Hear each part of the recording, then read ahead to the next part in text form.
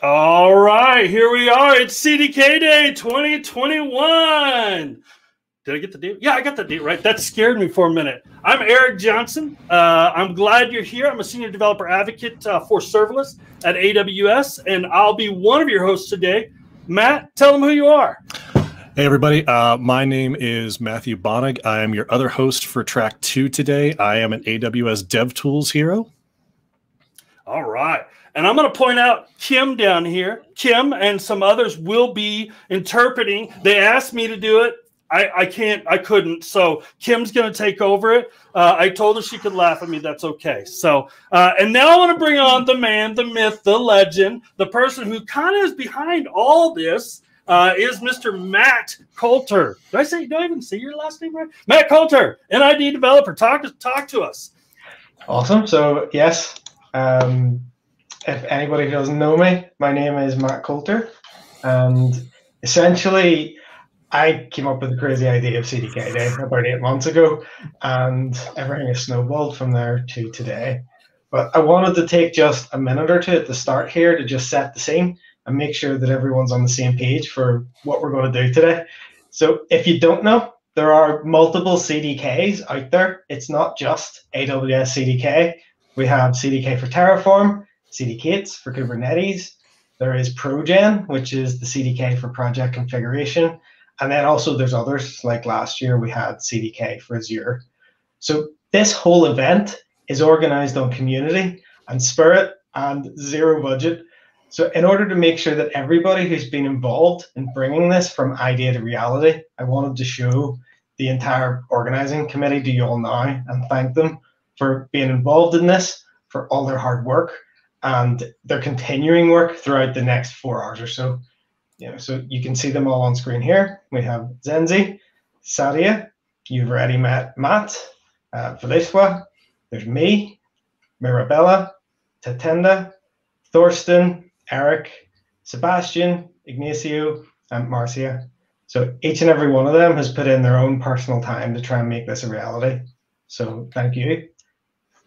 The next important thing is the whole day is being covered under a code of conduct, and that code of conduct is in effect across every channel. So that's YouTube, Slack, the Wonder.me, anywhere that we're talking about CDK Day, the code of conduct is enforced. And you can view it at cdkday.com slash COC. If anybody breaches it, email report at cdk.dev, and that will come through to me where we will take steps. Finally, how are you going to interact throughout the day? This we don't want this event to just be a long video stream that people feel disengaged from. So there's a few different ways that you can interact. The first one is interact with at CDK Day on Twitter for just general fun comments. We will retweet you, we will like you, we will try and connect people that way. The second is on the cdk.dev Slack space. We have two channels. So there's CDK Day dash track one and CDK Day dash track two. And that's for live text chat on each of the tracks throughout the day while the, you know, if you want to actually chat while the talk is ongoing. And then finally, we are trying out Wonder.me as a platform for the hallway. So this is a platform where you can walk up to people and it turns on video and voice and you can have a chat. So this isn't something that you want to do whilst the you know a talk is ongoing. This is more if you see a talk and you want to talk about something after it with a few friends, jump over to there, and you can you can do it like you would have in a regular conference. So there is a password on that, and the password is pancakes. All of this information is available at cdkday.com/watch. Matt, I'm going to clarify real quick. Uh, that's pancakes, right? Because I heard pound cakes, uh, and that could just be the accent. But pancakes, P A N C A K E S. Okay, I just wanted to clarify the food, the food that I'm you not like hassling you. I'm just clarifying. Yes. No, and with that, that's everything I had to share. So I will pass you back to Eric, who will continue, I guess, the rest of today. All right. Uh, and Matt, real quick, uh, these are the two. So there's two tracks like you talked about, and here's direct links to them. So you can quickly drop jump back and forth if you need to. Track one uh, is at s12d.com forward slash CDK day one, and there's CDK day two. Also, these QR codes uh, already. Matt Bonig, did you want to say anything else? Uh, just want to say thank you, everybody, for coming today, whether this be morning, afternoon, or evening. We really appreciate all the support from the community. Having uh, put this together now for a second time, we couldn't do this without you, and we wouldn't do this if it wasn't for you. So thank you very much. Uh, I apologize about my uh, little technical issues this morning. Uh, it was either you see a green screen or you don't see my face. And although EJ really preferred, say I have my preference. EJ had a preference, but I, defi- I I decided that it was more important to see my face. So uh, I will be seeing everybody over on track two starting here in about 35 minutes. And until then, I can't wait to see what Eric is about to show you. We're super excited. Thank you, everybody. All right. Well, I'm going to get started here. So it's just going to be me and Kim for a while. Uh, and Kim's Kim, I'm going to try to not talk super fast, but you know, there it is. So today I want to tell you a story. Today, I'm going to talk to you about how better together AWS SAM and AWS CDK. Now, before we get started, let me tell you a little bit about who I am. Uh, again, I'm a principal developer advocate for serverless at AWS. I've been a solutions architect uh, forever. Uh, I'm a father of five. That is not a typo. That is the real thing. Now, real quick, before I continue, I, I need to give you some of the rules here uh, when I'm talking. Now, this isn't a live session, but and rules may not be maybe a little strong, but but maybe guidelines to understand what I'm saying. Because I like to use my hands a lot, and and it's kind of confusing. So here's the rules. Number one, this is any number I want it to be. I promise you, I'm going to hold this up and say five kids, a table for seven, 99 bottles of Diet Dr. Pepper on the wall, whatever. So you got to listen to what I'm saying and not what I'm what I'm holding up. And that's that's that's just it. That's just it. These are thumbs. I I, do this all the time. Hey, how you doing? Hey, you know. And these are quotes, not apostrophes, and I know that. So I use that all the time. The other day I was working. So there's the rules. There's the guidelines that'll help you understand.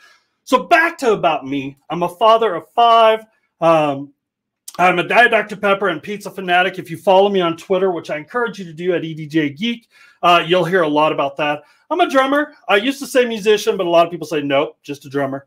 Uh, and then I and I also started the hashtag serverless for everyone because I do believe in serverless for everyone and helping uh, folks understand serverless. And I am an AWS SAM fanatic. And I know you might be saying to yourself right now, whoa, whoa, whoa, whoa, wait a minute. This is a CDK day presentation.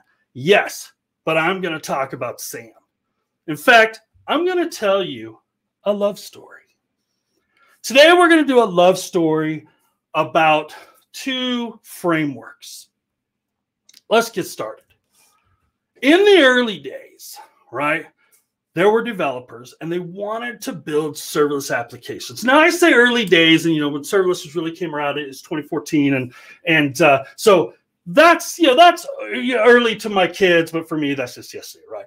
But they wanted to build serverless applications. They wanted to be able to build these, but use a framework. They didn't want to have to hand roll all their scripts. They didn't want to manage all the dependencies by themselves. They didn't want to have to do everything. So they wanted to build service applications, but they wanted to do it easier. So around came this little creature, SAM, the AWS serverless application model and the people were happy. But then we also came came around a little bit later, and we had this little creature who's pancakes the, the, the otter, and we have Sam the squirrel. And this is the AWS Cloud Development Kit.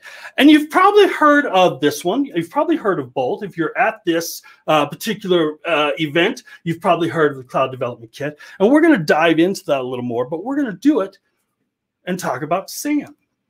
Now, both solutions, they came in and said, you know, we both provide infrastructure as code right? We're based on AWS Cloud Formation. We use that for deployment, uh, and they have different, you know, different ways of handling it.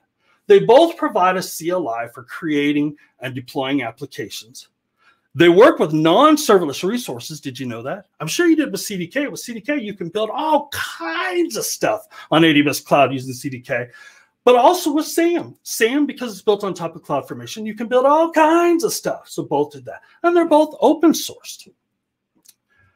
But it was still a single life for our two characters. AWS SAM and AWS CDK did some things similarly, similarly, did some things differently. AWS SAM uses JSON or YAML templates to declare resources. AWS or um, AWS CDK uses familiar programming languages like Python or Node, different things like that. AWS SAM uses pseudo parameters and logical functions for dynamic references. You get the region, get things like that. AWS CDK has a lot of these references as well, and then also uses native language capabilities for dynamic references where I can loop through building Lambda functions and things like that. And AWS SAM enables local invocation of Lambda functions via the, the AWS SAM CLI. However, the AWS CDK at this time does not do this. So, being smart like CDK folks were, they said, you know what? We should get to know AWS SAM. And so we had our first date with the CDK synthesize. And what the CDK synthesize allows you to do is you can synthesize out a CloudFormation template right out of CDK that allows you to use the AWS SAM CLI for local debugging and testing. And it's, it's a great product.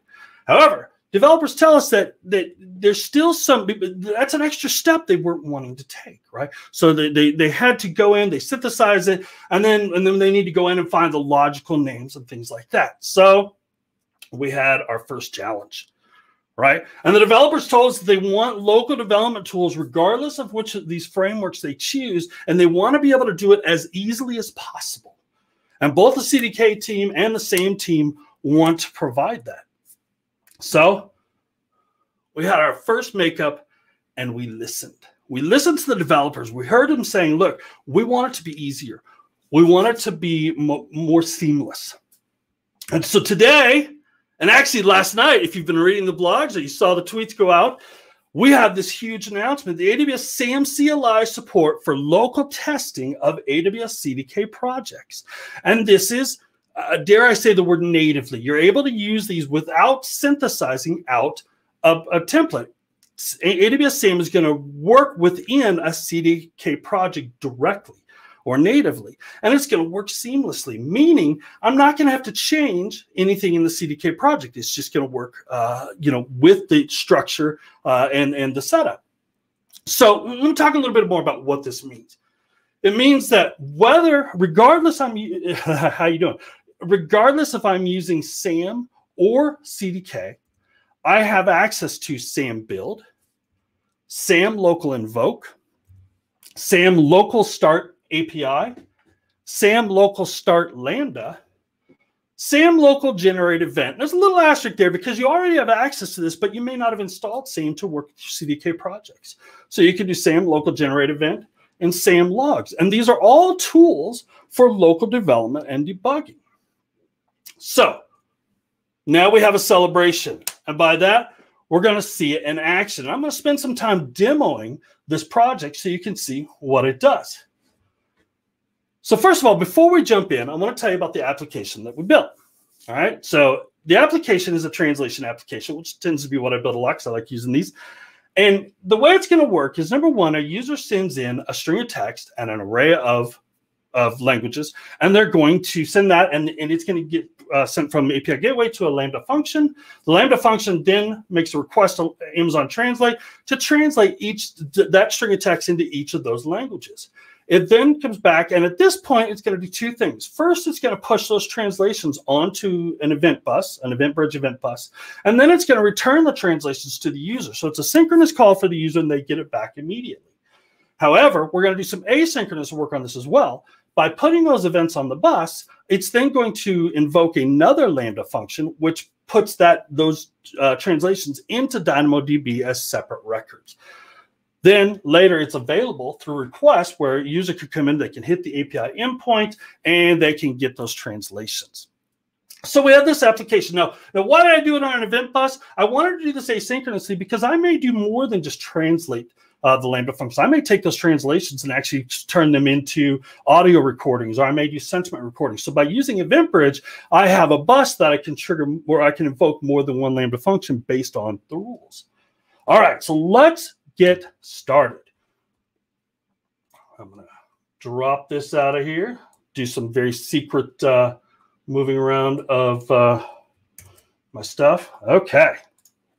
Bear with me one moment. I seem to have a uh, PowerPoint that's not releasing. There we go. All right. So let's jump into some code. Oh, I'm telling you, my machine seems to be giving me a hard time. Matt, you're not the only one. Your green screen's bad. My machine seems to be fighting me on this. All right, so I'm using Visual Studio Code here. I have a CDK project already. Now, I'm going to be full disclosure straight up front. I am not a CDK expert. Uh, I look like it, I get that, but I am not a CDK expert. However, I was able to quickly build an application. I love it. Like I said, I am a SAM fan. I'm also a CDK fan, and I like using the right tool for the job. And they're very comparable, and they, they approach things a little differently. All right, so looking at our project, uh, real quick, I'm going to show you in here. It's it's the and I know this is huge. I hope that's not too big. Uh, I'm going to show you the structure is a standard. I just I, I use CDK init with this. It is a TypeScript one, and we're going to go to my lib folder, and I'm going to show you the CDK template. Let's drop this out so you can see it. Now, this is a pretty standard one. Now, here's one one thing to understand is at this moment in time, the, the SAM integration that I'm going to show only works with the uh, AWS Lambda construct. It does not work at the moment with the Node construct and the Python construct, but those are forthcoming. And I'm going to be talking about dependency management here using SAM, but you can also do dependency management using the Node construct and the Python construct. So clarify on that. All right, so you can see here, I'm just building some standard uh, resources, the event bridge, everything's in here that I need. So the first thing I'm going to do is I, I'm going to deploy this. And actually, I've already deployed it. Now, you may be saying, whoa, whoa, wait, hang on a sec. If this is for local development, why do I have to deploy it? You don't have to deploy the project for local development to work. However, in a regular serverless application, in a real life serverless application, we interact with serverless services with our Lambda functions, right? So a Lambda function may call out to DynamoDB or EventBridge, much like my uh, my example application does. And so in developing, we want that local Lambda function to be able to talk to the services. Well, they have to be deployed. So I'm going to deploy at minimum, get my infrastructure out there, my DynamoDB table, my EventBridge uh, th that I need for those out there. I can deploy the Lambda functions uh, as well because I have some asynchronous stuff going on. So what I'm going to do is, is to deploy that, I'm going to go ahead. The first thing I'm going to do is do SAM build. Now I want to show you really quick here back to our structure is if you look in the uh, the actual source file here, it's so big I'm having a hard time getting. So here's my function. In my function, I do not have any dependencies in here. Uh, with with Sam, the way Sam's going to work with this is I don't have to manage those dependencies uh, from from uh, from CDK or or manually. I can do them within Sam. So let's take a look at that real quick here. All right. So you can see uh, again, I have no dependencies, although I'm saying what dependencies I need. What I'm going to do is I'm going to tell Sam to build it. Now, if you read the, the blog the other night, if you install this beta version, and this is a beta version, we'll talk more about that. If you install it, it's going to install side by side with the normal SAM client. So I have SAM on here, you can see. And then I also have SAM beta CDK. And you're going you're to laugh because I fat finger all the time. Just the one finger, but I'm going to fat finger. All right, so both versions are on there. So I'm going to get rid of this. So back to our, our instructions here. I'm going to bring my terminal up so you can see that. So the first thing I'm going to do is I'm going to build the application. And what Sam's going to do is it's going to take, it's going to install all the dependencies. If it's a language that needs compiling, it's going to handle compiling uh, like a .NET or, or a Java or something like that. And then it's going to uh, export uh, and it also uses uh, the actual CDK synth to grab the template, and then it's going to export all the assets in the cloud assembly so that CDK has everything it needs to do the deployment. So let's go ahead and do that build. So I'm going to do AWS, I'm sorry, SAM beta CDK build. Uh, and I'm going to do them in parallel if I can spell. I'm sure I spelled that wrong. So let's do that again. A L. This is painful to watch me do this. I'm sure for folks. There we go. Parallel tells SAM that instead of doing one at a time, build them all at the same time. And that works if your machine has a little beef to it. If it doesn't, then then you can also have it. It'll just do them one at a time. So, all right. Now, once that's built, it's almost done. Then you see here it says do a CDK deploy. So I can do a CDK, CDK deploy, but I'm going to point it to the to the cloud assembly that I want to use, and that's under the SAM build folder. So let's take a look at what SAM did. Sam actually went out here and under the SAM build folder, there you go. We have our CDK out, which is what, what CDK would output. And then we have our build folder. And then Sam will actually group these by stack, right? Because CDK obviously manages multiple stacks. So you can, you can, uh, it will actually output the different stack names. Under those are each of the assets that are needed. Okay, and so I've got, you'll notice now I have my dependencies in place. So I can use, and, and I also have the logical name of my function. So, so Sam has built those out and put those in place for the CDK to use. All right, so let's look at actually getting into de uh, developing and local development with that. Now that we kind of have everything in place, uh, let's do that. The one last thing I want to show you before we do this is with SAM, and if we're using these uh, services that are actually in the cloud, I'm going to use a local environments file folder. And I want to show you what that looks like really quick. Let me move this over. Whew. Okay, so pull my terminal down. I'm getting killed by all the sizes here. There we go. What this does is this tells the functions, and I address the function by stack name and function name. And this is the function identifier, the CDK that you put into CDK when you build the function. And then I tell the variable is that file or that, that table. So I have a table, I have a bus, and, and another table. So this is going to tell any local function, Lambda function, hey, when you talk to the services of the cloud, this is the table name you want to use. This is the event bridge bus you want to use. All right. enough of that. Let's get started. So we built that, and I've already deployed it, uh, but I could have done a deploy to kind of show that. So, uh, you, and, and we'll probably do that at the end here. So the first thing I want to do is I'm going to, in this, I want to push a mock, or I want to push a mock event onto DynamoDB. I want to actually do a request. And I'm going to do it. There's several ways I can use SAM to test things. I can directly invoke the Lambda function, or I can do it through an API gateway emulator. Now, the first thing we're going to do is we're going to do it by directly invoking the Lambda function. Excuse me. So to do that, I have a mock event that, that shows what, what an event would look like with uh, through API gateway. Because while we're invoking it directly, my code's expecting it to be in an API gateway event. So I have these mock events. And if you're wondering where, how, how in the world would I know what those look like? Well, earlier I said we have access to SAM local generate event. That function will actually generate these events out for you. So here's my date. Here's the request I'm making. Here's the body that's being sent. Uh, and this is the event I'm going to use. So the command to do this and, and full disclosure, I'm not going to type all these commands. I'm going to be doing some cutting and pasting because we'd be here four times as long if I were typing them directly. That's just the truth of it. So, alrighty, uh, because I'm not a fast typer and I misspell. So this command says I'm going to do sam beta cdk local invoke, and, and the function I want you to invoke is found in the cdk day stack, and it's called put translation function. I'm going to do a minus E or a dash dash event. And I'm going to say events put translation.json, which is the event I just showed you. And then I'm going to pass that locals variable file. Now, there's a lot to type there if you i have a blog and i'll shoot out a link to it a little bit later uh, that shows you how to put these this information in a sam config file so that really all you would have to do is say just just the local invoke and the function name.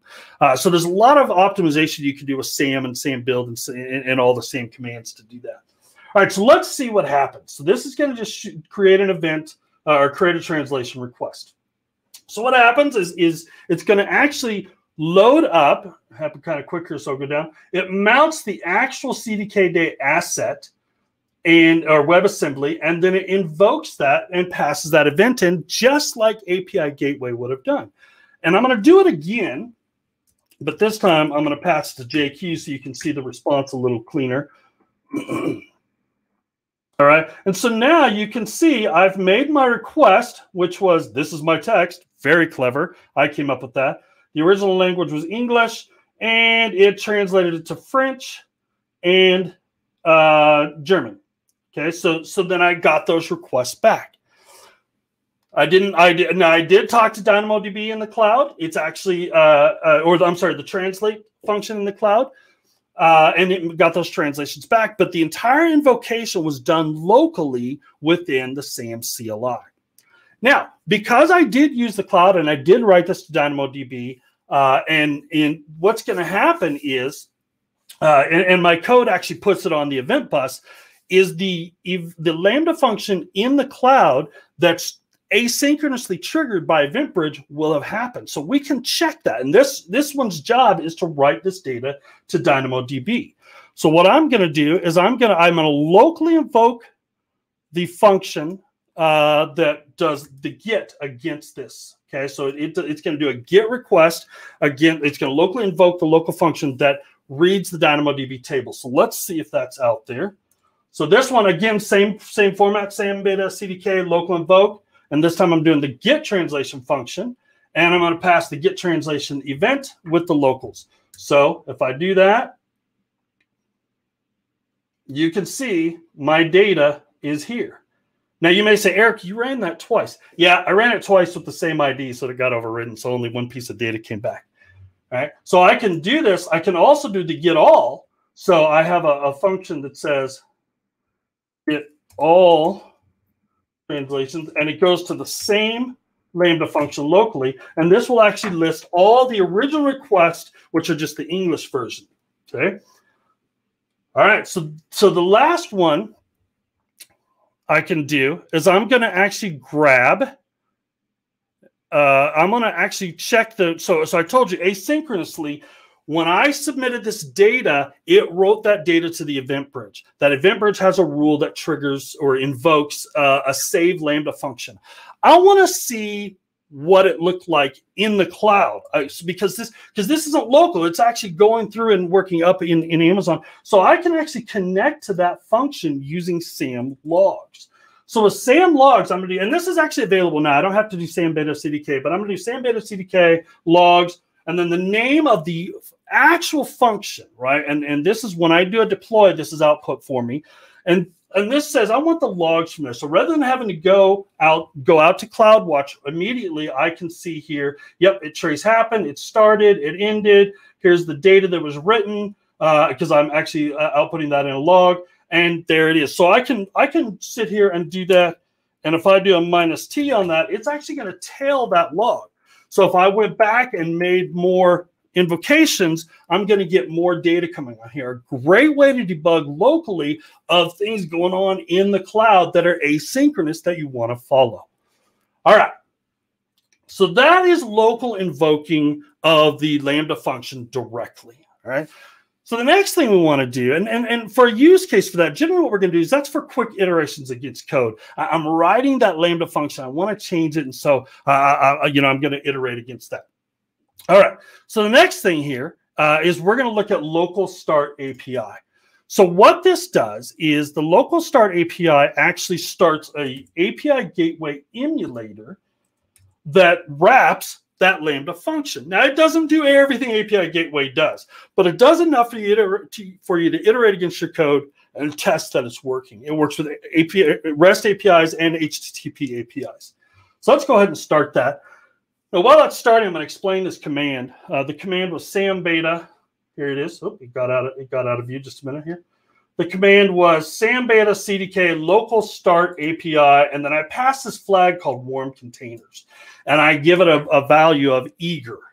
So what that tells SAM to do is load each of these endpoints up in a container and keep it hot or keep it warm, depends on how you like to say it, so that the invocations happen fast, right? So they can happen uh, quick against it, right? So the, what I'm going to do uh, is I can actually do another window here and I'm going to test that. So I've got this local emulator. So the first thing I'm going to do is I'm going to put another piece of another translation in here as if through an API gateway.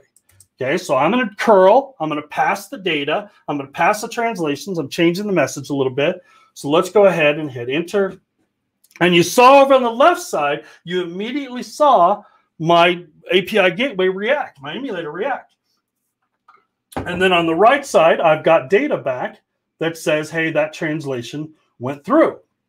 All right. So the next thing I can do is I'm going to list all the translations that are happening. Again, I'm just using curl, but your client can be your local. You could be running a, a, spa locally to test against this, just pointing at this API gateway. I use I use Postman all the time as my local client to test this. Uh, but because this is CDK day and, and a lot of smart folks watching, I wanted to do curl and look cool. That's just the truth. All right. So next thing I'm going to do is I'm going to actually list all the requests that have been or the, all the translations that have been done so far. Okay. So I've got that. Uh, you can see the response here. I'm going to actually pipe that to JQ so you can see that a little clearer. And you notice API Gateway was responding very quickly, right? Okay. So now I've got this translation and it's got an ID. Okay. And again, this returns only the English or the original requests at the moment. So I want to actually get the full translation of this statement. So I'm going to do this again, and I'm going to add my ID uh, in quote, and let's see what that looks like. And there you go. So now I've got all the translations that were put in for that phrase. Again, I haven't deployed anything else. This is just simply working locally. Okay. So the next thing we're going to do is I want to change. Uh, you'll notice in here, I'm going to push this real quick. I'm going to do this again, and I'm going to list it or pipe it to JQ so we can see it a little easier. Notice in here, I don't have the, the language set for the for the translation that was put in. Just should say that it's English, but it's just the ID in the train.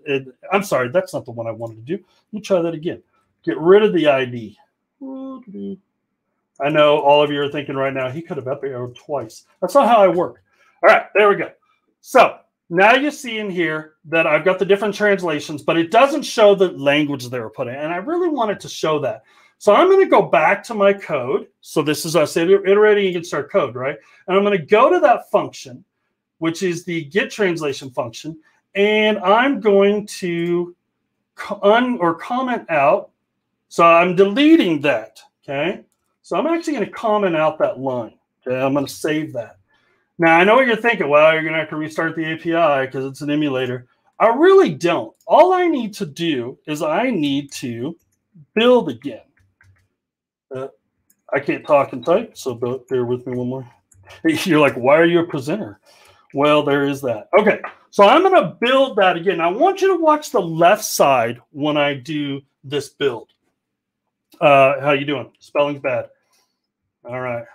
Uh, I, I, talked to Stefano, who's in charge of the, the team that's building this, and they're actually going to put B E U I L D too because I always type it that way. It's probably not the best workaround. Okay. Finding the right word. Okay. There we go. SAM beta CDK build. Boom. There we go. So now it's synthesizing the app again. It's creating that template. It's going to build out these changes and and copy those back into the web to the cloud assembly that I can use with uh, with my my CDK application here. And notice over here, Sam picked up and said, "Oh, hey, the code has changed. So here's what I'm going to do. I'm going to next time you invoke that, I'm switching to lazy mode for this next invoke. Next time you invoke it, I'm going to re-up that code." Right? So let's go ahead and run the the list again. Okay. It re-upped that code, so it took just a little longer that time. But now my language is in there.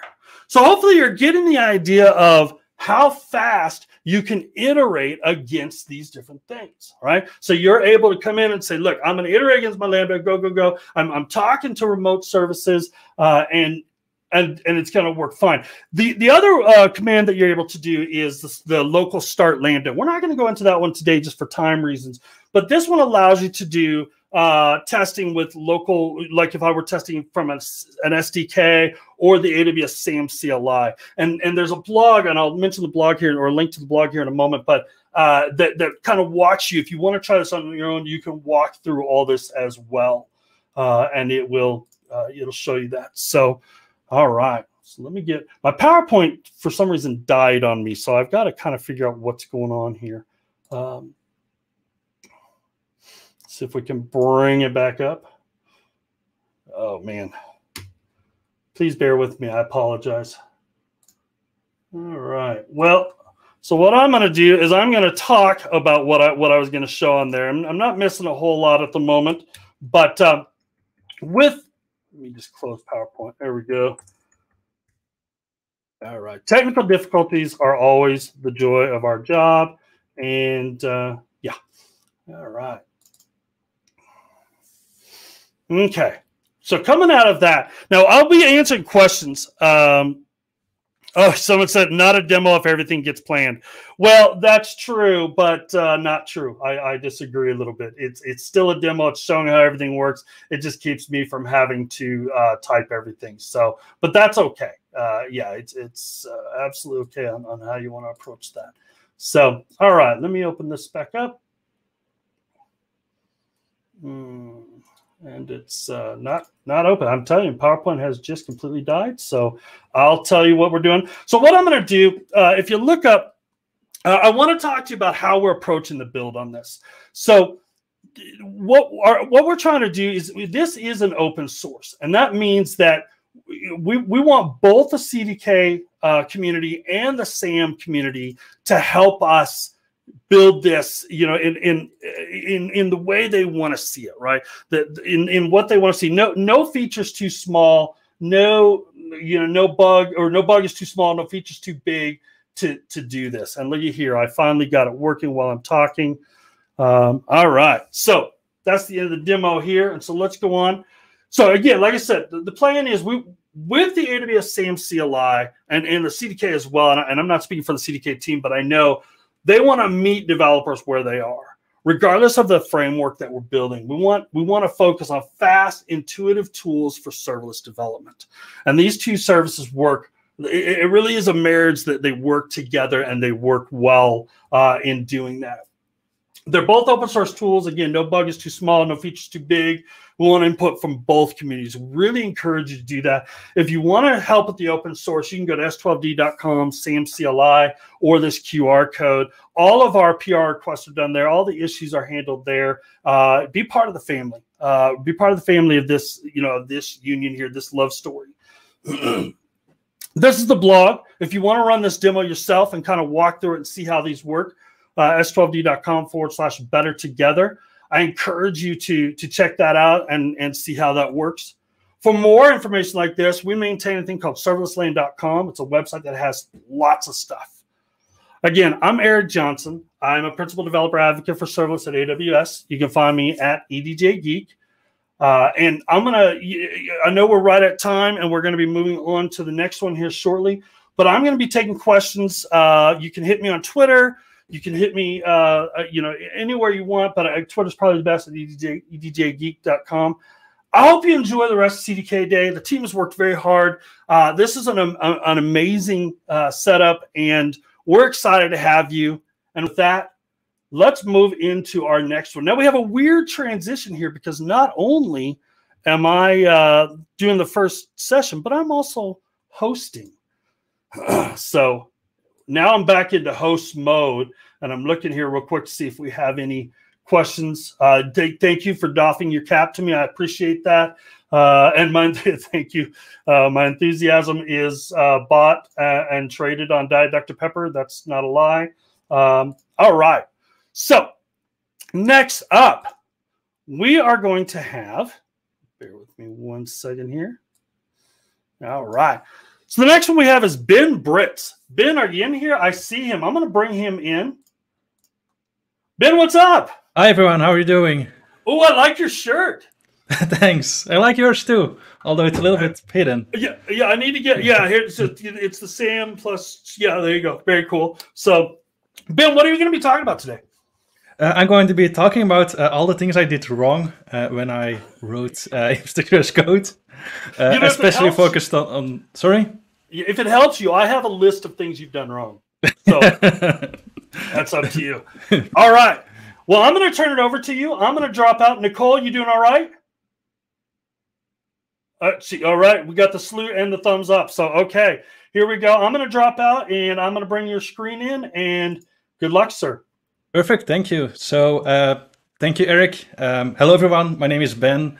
Uh, I work for a company called Cloudar, uh, and also have uh, some stories to tell. Um, I'm mostly here uh, because I made a lot of mistakes. Um, and I don't mean that giving this talk is a mistake, uh, but I've been writing infrastructure code um, for six years and a bit now, um, with a lot of different tools, uh, CloudFormation and things that generate CloudFormation like uh, Troposphere and the toolset around that, uh, even before CDK was a thing. Uh, and in those six years, I had the chance to make a lot of mistakes. And if there's one thing that's better than learning from your own mistakes, it's being able to learn from somebody else's mistakes. Um, so I'm going to try to tell some of those things that went wrong when I tried things.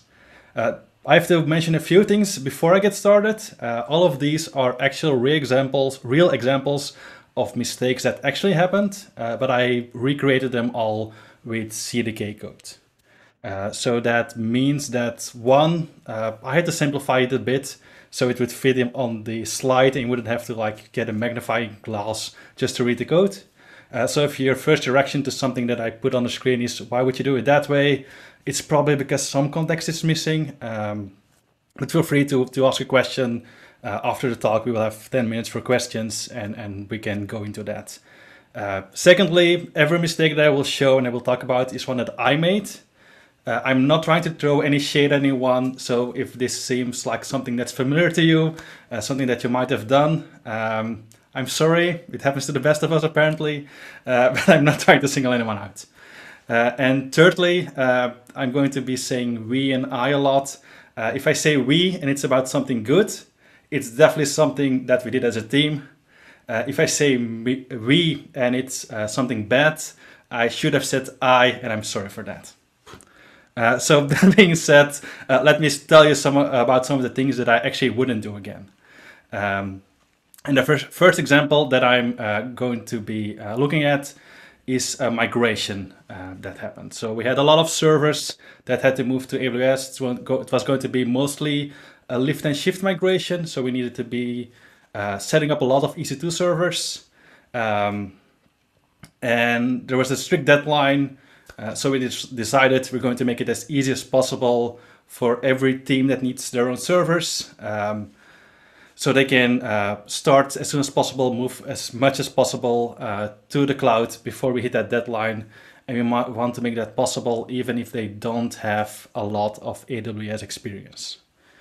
Uh, so we decided um, we need something like this, um, where every team should be able to define their own stack put a list of instances in there, and then we would have some code, uh, in the CDK case, a construct that would take care of all the details. And the details would be putting, uh, starting the instance, putting um, everything on there, uh, having alarms and monitoring around that, making sure that integrates with all the other tools that were already being used.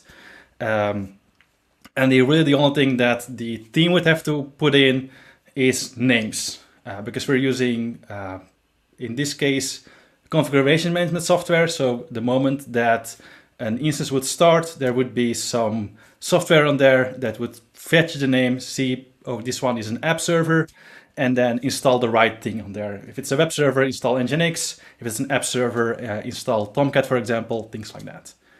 Um, so we created our construct called instance group. Uh, the my server's name here is arbitrary. The team can pick whatever they want. And then they would uh, give a list of servers they want to start. In this case, we have two app servers, two web servers. And this is a code that we wrote to actually do the heavy lifting. Um, so we know which VPC we want to use. Uh, in this example, we're using the default one, but that would be uh, one that was created externally we have a default AMI that also has all the bootstrapping software on there. And uh, we pass that to the instance. Uh, and you can see here that we get that list of names uh, passed into the construct. And then we just loop over them uh, and create one EC2 instance for every name. Uh, the final thing that we actually have to put in there is which availability zone they go into. And for that, we do a little trick because we don't want them all to go into the same subnet or the same availability zone. And that's what actually would happen if you have them all in the same stack because the um, CDK will pick always the same availability zone. Uh, so we want to have, have them spread out over, over availability zones for two reasons. If they're creating app one and app two, we want to have them uh, spread out so we have high availability there because it might be putting that in a load balancer uh, later on in the stack. And also because if we wouldn't do that, then all the instances would end up in the same subnet. We would run, run out of IPs in that subnet while the other two, one or two uh, subnets would be still empty. Um, so that's the reason that we wrote this code like this. And this is what we're uh, using as our construct. And if we uh, synth and deploy our stack, uh, this is the uh, YAML output that would get passed to CloudFormation, or at least part of it. I hit most of the other properties to make it, make it fit here. And you can see that we create uh, two sets of two servers. We have the two app servers at the top, the two web servers at the bottom, and we go uh, A, B, C, A, spread out over our three availability zones. And that all worked great, so far so good. Uh, we've successfully finished the migration. We hit that um, that deadline. Everything is running in the cloud, and we can start working up on improving our apps, ma uh, making more apps. Maybe we'll actually start using uh, more serverless things. Uh, but at some point, a few months later, we actually realize, oh, actually, we can improve this app as well. Um, we maybe added some database servers, and at some point, we want to connect to, to those servers directly and we need a Bastion instance. Um, so we do exactly that. We open up our uh, old CDK code. We um, open, uh, add our Bastion to the instance group. And because we know our ABCs and we like to have things neat, we put Bastion in between app2 and web1. Um, and our constructor works exactly as we expect. So we go from this old output to, to, to this new output. And here we see our um, Bastion instance appears uh, in the middle of that. Uh, there's one problem. Uh, that's not the only thing that has changed. So because we added that in the middle uh, and we're looping over our instances, uh, we also changed the availability zones. And that's a problem because if we're changing availability zones means a recreation of the instance. And um, it's a hard problem because it's not easy to spot. Uh, from the consumer side of things, from the, the teams using our construct, they didn't really change anything related to those instances. So they don't really expect something to change. They think it's a very low risk change because they only added uh, one server that's independent of everything else. And from our constructs point of view, there's also nothing strange going on because as if we uh, we're testing that um, that code, and as long as the inputs stay the same, our outputs don't change, and it does the looping over the um, availabilities correctly, and we're saving the uh, list availability zones in our uh, context file. So all of those things don't change, but still we get that um, that shift in availability zones. And the only actual realistic place to spot this is uh, in the CloudFormation change sets. And that's hoping that we're actually checking that, which was the case in this story. Uh, and that the person checking that actually understands that an instance replacement is something that they don't want. Uh, if you don't spot it there, then it's uh, hopefully your um, staging environment that sees those replacements and not your production environment we did get to learn from this. Uh, so that's a, the real reason from this talk, of course. I'm not just uh, talking about my mistakes. I also want to uh, explain uh, which lessons I'm taking from them. Um, this one is not really actionable, uh, but it's sometimes a good indication if you think you're being clever, uh, there might be something you're missing. the real lesson from this story, um, on the other hand, is to have a way to build mechanical sympathy. It, it's very important to uh, build that into your abstractions uh, and have teams be able uh, to learn um, how they behave uh, behind the scenes. Uh, so what is mechanical sympathy? Uh, it's the idea that you can never be successful if everything is 100% invisible to you.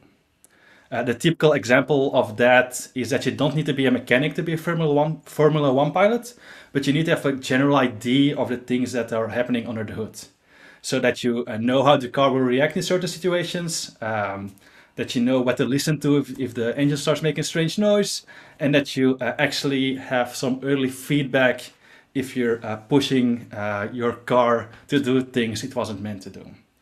If you don't have that mechanical sympathy, uh, you will miss that. And uh, if we don't, if we write a construct that doesn't expose things that the user of that construct uh, should or might care about, we're actually uh, setting them up for failure because they will miss all those early warnings and they will not um, have an uh, intuitive, intuitive understanding of what we're actually creating.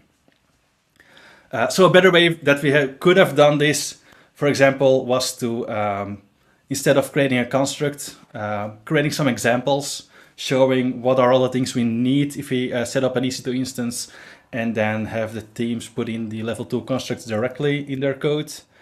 Or maybe build a level 3 construct around a single instance uh, so that they can um, use that, uh, that we don't have that loop and that we can much easy, much more easily expose all those things that they actually should care about that might trigger a replacement. So things like the AMI, the, the availability zone, these subnets, uh, maybe security groups. Uh, we want to uh, surface that um, so that uh, it's not a black box for the teams using it. Another story that I wanted to talk uh, to talk about, uh, and this has multiple mistakes. spoiler alert! alert um, is to do with custom resources. So sometimes you might find that the resource that you want to create in your AWS account is not supported by a level one resource. Um, and because it's not supported by a level one resource, there will also be no level two or level three resource. And there can be multiple reasons for that. Uh, it might not be supported in CloudFormation itself. You um, might want to uh, create a resource that actually doesn't live in inside of AWS. Uh, like I know that Ben Kehoe once made his uh, hue lights turn on and off with CloudFormation. So if you want to do something like that, that might also be a reason that there's no resource for that. And in both those ca cases, uh, you can still manage those inside your CloudFormation stack if you write a bit of glue code yourself. And I'm going to do that with an example here. And in that example, I'm going to assume that there isn't a custom resource, that, that there isn't a, a resource yet for the SSM parameter store parameters. Uh, I know they are, uh, but it's a very good example just to throw to uh, just to go through all the actions you would take to create such a custom resource. So this is uh, the full code of what that would look like or could look like. Uh, and if you look at the uh, top right here, you see that if we use that in our stack, it's almost the same as using that level one or level two resource directly. We're um, giving it a, a, a, name or an ID, uh, and then we say the, the name of the parameter should be test, and the value of the parameter should be something. And then if you look below that, you see uh, the actual implementation of that, and there's a very useful uh, CDK class that helps us create custom resources, where we uh, say uh, on create, when this gets created in the stack, you should uh, execute this API call. When it gets updated, you should, you should update, execute this API call. When it gets deleted, this other API call, um, and so forth. And you can see the API calls on the left above that. Uh, it's basically doing SSM put parameter or SSM delete parameter. And, and that's all we have to write and CDK will take care of gluing it all together and doing the right uh, API calls. Um, this is the actual um, rendered out template of that. So you can see that we have our custom resource in here that is of type custom uh, colon colon AWS, where we have those create, update, and delete actions. Uh, what you can't see here is that the rest of the line would have the uh, the name and the value in there as well. And then uh, we also see that that service token defines what is the underlying Lambda function that gets executed for that. And that's the one starting with AWS 6.7. So that would actually execute those commands. And then uh, underneath that, we see that we also get some uh, custom resources that are created by the CDK that are used to set that log retention that we specified earlier, because uh, there are some tricky things with CloudWatch logs. And if your log group already um, exists, you can put the log retention on there that easily. So uh, CDK decides that they're going to be using their own custom resource for that. And it's that log thing that's also part of the problem. Uh, that and Lambda functions. So uh, if we do it like this, we get those two Lambda functions, those two custom resources for every stack that uses um, our SSM parameter. So once you start uh, having a little bit of more than one stack uh, and, and, working with multiple teams, that can grow very rapidly. You see uh, here a screenshot. This is just from my testing that resource seven times. Just create delete seven times, and this isn't even the, the full uh, screen of it.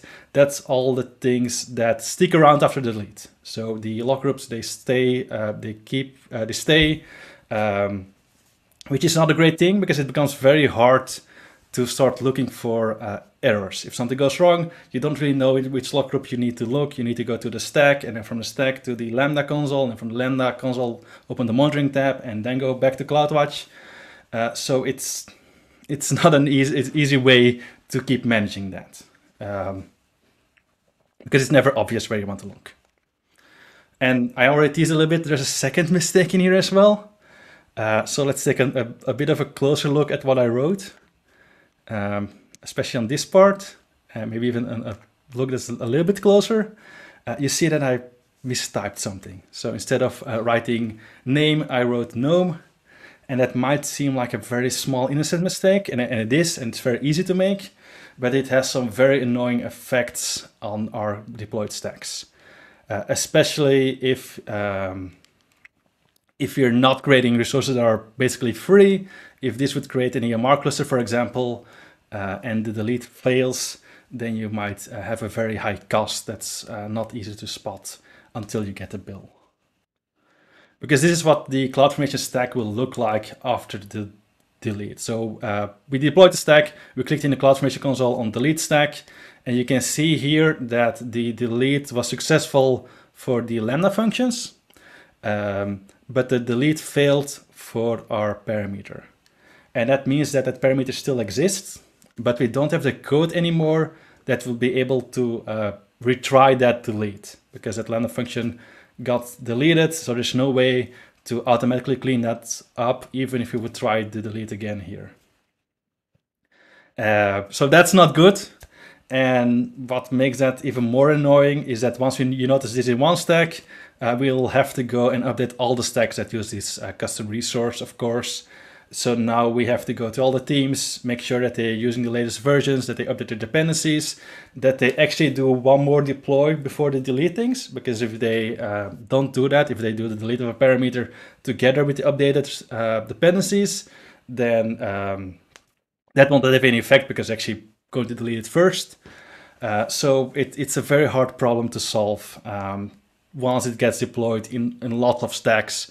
And it, it's something you actually um, can get fairly annoying. We did also learn from this, of course. Um, the main lesson here is that your custom resources are applications and you should manage them as such. So this means they should have their own stack. You should create them once per account and you should actually think of them like how you might think of a VPC that's shared between different applications. And that also means you need to do the same things uh, that you would do with them that you would uh, do with other serverless applications. You have to manage metrics and logs. You probably want to create that log group before um, the function gets created, so you can uh, you don't have, don't have to use that custom resource there. Um, and in general, uh, you want to be prepared to keep supporting the application for as long as it sticks around.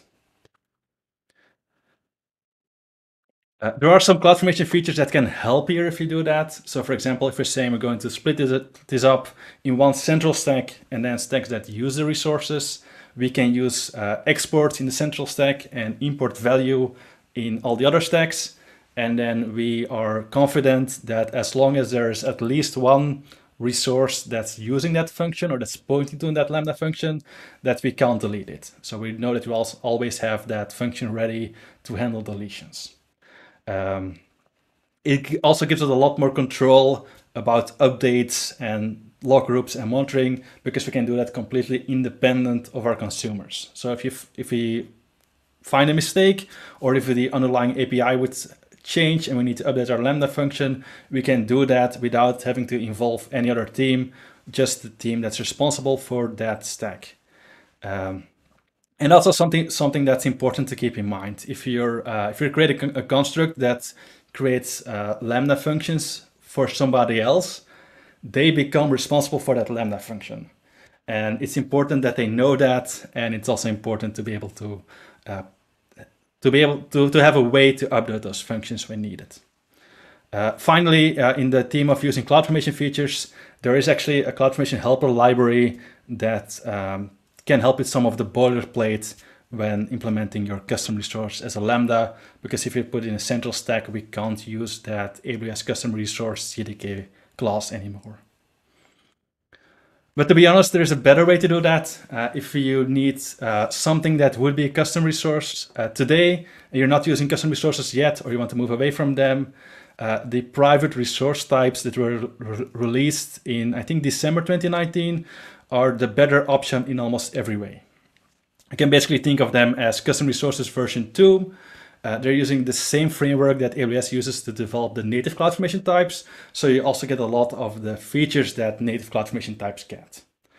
There's one downside, and that is that the initial learning curve is still a bit steep, especially compared to that AWS custom resource that we just did. Uh, and there's a lot more information that you can find about how you develop serverless applications compared to how you would write uh, resource providers. Uh, but there are also a lot of open source repositories that have uh, resource providers in them. The AWS ones, um, or some of the AWS ones, are actually open source.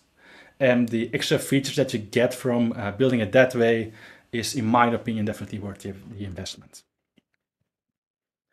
And then finally, uh, I, I, still have a few minutes to talk about a third mistake that I made. And this is um, not going to be any code anymore. It's going to be more of a story and it's actually going to be about how my typical flow is if I create an, uh, an abstraction. So that would be uh, a construct in CDK or a module in, uh, in CloudFormation, um, how that uh, usually uh, goes. So usually that starts with very good intentions. Uh, there is something I can fix. there is an, a construct or a, a resource in CloudFormation and it doesn't it isn't as easy to use as I think it can be. So I can make things easier and I can do that either for myself or for somebody else. Um, doesn't really matter. I see something, oh, this is, um, this could use different defaults. Like the, the, settings that I put in here are not the defaults that I want to use, that I want to recommend to people. For example, it's an S3 bucket and I want to make sure that it always has that public access block enabled, uh, things like that. So that's great. I create a construct for that. I know how to do that. Uh, I wrap our my S3 bucket inside that. I limit the amount of inputs that I accept. So uh, for example, if I don't want people to be able to set a name for that bucket, I don't don't allow it. Uh, everything is better. I like limit what you can do. This is good, like the default way to do this. Great. Um, until you get feedback or you keep start using it more, and there will always be some place where oh, I actually want to change the name here because I need, need uh, I always, otherwise I get a circular dependency, um, or we have this one weird edge case where encryption doesn't work, so we need to disable the, uh, it, and you need to uh, add extra properties to that. Uh, that's not a problem, you update construct, you uh, have people update their dependencies. Uh, if you're lucky that this happens never or only once, if you're unlucky, you can just keep repeating that cycle until you have every property in there. And even if you have all the properties in there, like the, the story isn't over yet, sometime later there's a new feature uh, with the uh, construct that you're using or with the service that you're using, they add more properties to that construct. Uh, and now we have two imper imperfect constructs because both the one that I created uh, with the new defaults might is not using that new one yet. uh, and the one that's uh, coming from CloudFormation or from CDK might not be able to use those um, new defaults because that would break uh, backwards compatibility. Um, so we follow that same cycle again, and now we also have to be careful about not introducing any breaks in stacks that might already be using the older construct. So that's either being very careful, maybe have like different versions of constructs. Uh, anyway, um, it gets complicated and this can repeat as well, of course. Um, and in the end, after certain iterations of either of those things, uh, it gets very muddled and very confusing. Either we forget uh, what defaults are resetting, what defaults are coming from the, um, the construct itself, which defaults are coming from the service. Um, and we have to look in the code every time. Uh, or we end up with a construct that's basically passing everything. So it's not really an abstraction anymore. It's just a different name for the original level two construct.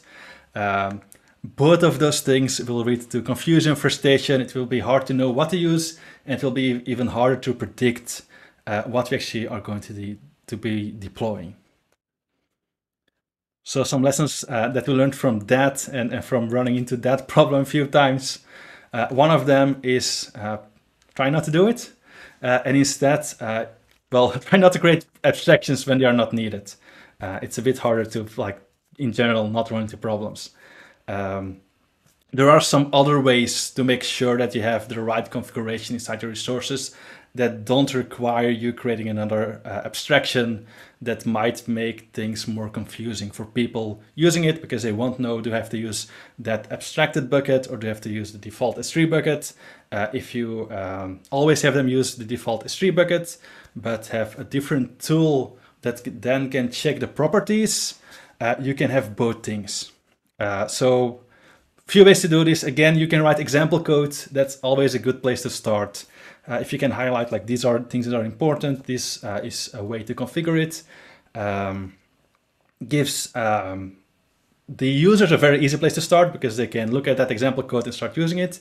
Also gives them an, an easy way to know what they are configuring. So you have that mechanical sympathy in there. And it's a very uh, easy way to break away from that if you would have an edge case where that uh, default wouldn't fit with their use case. Uh, of course, that also depends a bit on whether it's a, governance thing or just something that you think should be a default. Uh, on top of that, you can use tools like uh, CFN lint, the CloudFormation linter, CFN guard, CFN nag that can scan out the Sinter templates. Um, and they can flag non-compliant resources. So they can either have their own rules or you can write your you can write uh, your rules yourself and they can say oh you're uh, creating an IAM policy that has a wildcard in it that's not allowed you're creating an S3 bucket that's not encrypted that's not allowed uh, please fix that uh, and finally you can do similar things using the CDK aspects so you can uh, scan every S3 bucket that gets created inside your CDK code and then throw an error if it's not following your governance guidelines. And in all these cases, you keep that configuration visible to the person that's actually responsible for that configuration. So uh, you're not doing anything magic and they will actually know what they're uh, setting up. There might still be places where you actually want to create an abstraction. I'm not saying that abstractions are bad. Uh, they have a place, uh, but there are some things that I try to check before I start creating one and to make sure that they make sense.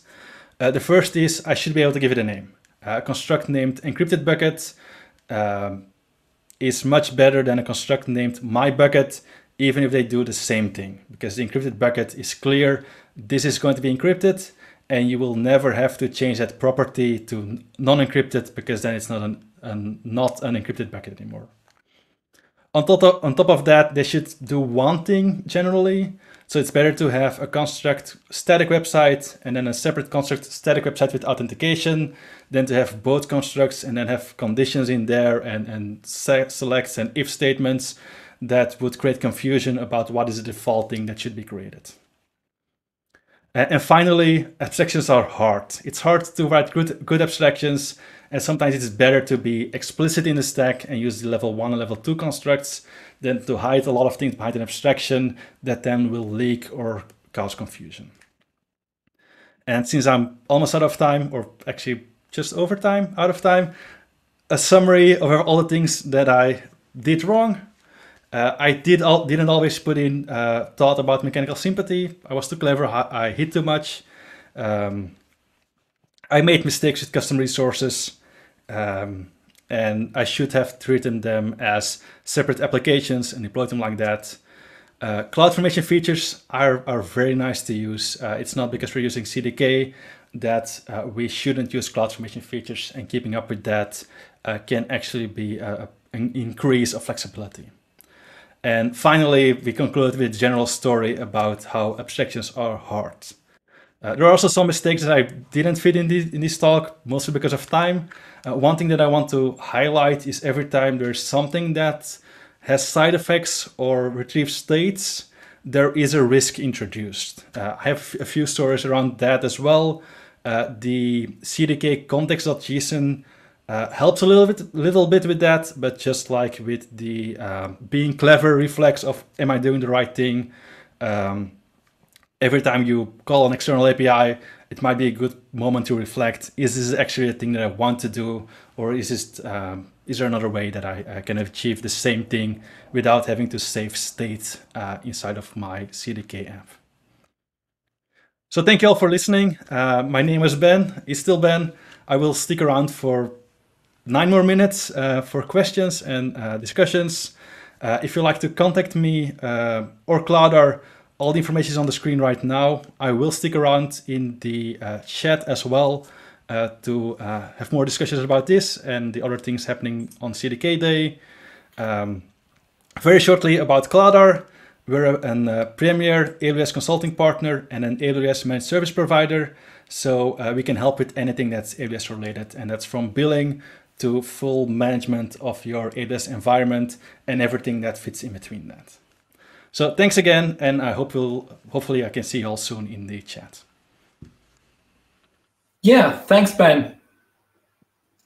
Um, Eric, you're muted. Yeah. Yep. Yeah, I know. So, oh, yeah. No, no errors happen. we just learned this. so, yeah, thanks for this um, very interesting topic about mistakes we all make and never um, think they might happen. Otherwise, it wouldn't be mistakes. So, if you have any questions, um, put it uh, in the chat or in the CDK Dev uh, um, Slack, and we will be happy to relay them to Ben to yeah see what. Yeah, I see a question about the uh, like. I'm just going to dive into the, the yeah, bottom ones that I see because I in. didn't see the uh, everything before that. I see a question about building the CFN private resource types with CDK. I don't have an example of that uh, handy, but uh, the way I would do it is you can use the um, the CloudFormation CLI that will help you set up your uh, private resource type and uh, define your schema and how it will interact with CloudFormation, and then you can build your own uh, level one constructor around that and use it uh, in CloudFormation like that. And since the um, private resource types are also deployable with CloudFormation, you, I assume they're also supporting CDK to do, to do the, the to do the deploy with CDK itself. So you can write it just like you write any other application. Like if you're using, for example, um, npm that also has some installers and that might install software. Use CloudFormation CLI like that. That will build out the zip, and then you can build that zip uh, and deploy that as an asset um, inside of uh, CloudFormation. Yeah, and to um, elaborate on this, um, I think yesterday Mauricio um, added a video on how to use L1s for custom resources. So um, I think if I can find the, the, the, video link and post it to the Slack. So there's a statement here by uh, Jean, Jean Gazda says, one useful advice, don't start implementing CDK in your company by trying to create a framework for your teams. Spend the time teaching the teams how to write good CDK. That's just good advice. Any framework yes. you're using, that's just really good advice. So, and yeah, it, it's very tempting with the power of the CDK to say, oh, what I'm going to do is I'm going to write a massive amount of constructs to fill like every use case. Um, and like I completely agree with that. Instead of doing that, just write one simple example of using the level one, level two constructs, and then go to the teams and explain what that's doing because they will be managing not only the CDK code, which you can simplify, but they will be responsible for everything running in the cloud as well. And um, if you simplify that and hide that away, then you're just making it harder for them instead of easier. That's right. That's right. Uh, We had a question out here from Brian, and, and I don't think you'll be able to cover all this, but do you have any good resources? Can you provide an overview of all the CFN options, custom resource, private types, modules, macros? Ben, go. yes. So uh, if you need something custom, first thing that you should look at custom resources. The uh, sorry, the private types. Pri- if you can use a private type, use a private type. Uh, there are some use cases where they might not fit yet. In that case, you can go for custom resources. Um, and those are like, I want to create a thing. So a resource is part of that. Uh, the other things that exist are modules, and that's very similar to CDK constructs. So that's I have a group of things and I want to give them a simple name. Um, so uh, for example, that might be also a way to work together between teams using uh, SAM and teams using uh, CDK is that you can create a CloudFormation, con- a CloudFormation module that both teams can use. Um, and then you also have macros, and macros um, are sometimes a bit tricky because they actually introduce uh, some more variance inside of your templates. So macros run before the template gets deployed, but inside of CloudFormation. So you write a Lambda function that gets the uh, template passed to it, can do any transformation with it, returns another template. Uh, you can verify that the template that it's uh, created is correct and then you can say deploy this template. So it's somewhere in between that. Um, again, if you can avoid macros, it's it's probably better because they just like introducing the um, external state in your CDK app. They introduce a certain amount of uncertainty and risk because now you're running custom code. Uh, just like you're running custom code in your CDK or might be running custom code in your CDK if you're not just using the constructs, but you're putting ifs and loops in there. Uh, every, every line of code that you write is a, a chance of making a mistake. So if you can avoid writing pieces of code and you can fix it another way by, for example, using resource types or by restructuring your templates, uh, that's probably a better way to go about it. I've always said the most brittle part of an application is my code. That's that's yeah, exactly introduced. yeah. So I have another question here. Um, in in says in what uh, in what is best practice in using one level one CFN constructors or two level two constructors? Uh, I'm going to leave this to the CDK experts. I, am personally a little more versed in CloudFormation, but uh, I assume if the level two construct is stable, I would use those. If they're unstable, I would stick with the level one ones. Um, just because that applies to anything. if it works, yes. use it. If it doesn't, don't use it. no, it's not if it works. If, yeah. if the chance, like the the hard thing about constructs, whether you write them or the level two constructs, yeah. is that it's very hard to predict what will change. For example, if you look at um, the GP two and three volumes, uh, if you have a level two construct that would be creating a disk by default, and it's creating it with GP2 right now, even though CloudFormation might be still creating GP1. Um, and you that will switch to GP3 at some point, maybe. That whether doesn't really matter who, who's writing that resource. That introduces a risk because that, depending how that's configured, might be an instance replacement, and that's that the risk of that happening with level one constructs is very low because CloudFormation guarantees if the template works right now, it's going to be keep working. That's that's the API is stable. For the level two constructs, there are levels of stabil- stability, and there's like a lot of effort put in there to not break things. Um, but every time you update dependencies, you will have to check whether there are actually changes there or not. Yeah, that's, uh, but that's yeah, I, I would use level two if, if possible. Uh, you can see on the CDK website uh, if they're still experimental, in that case, probably avoid it for production apps that you are hard to recreate. Uh, but if they're stable there, um, I would probably use a level two once because otherwise uh, there's not a lot of, well, there's still some added value in CDK, but or um, you lose a lot of the value there.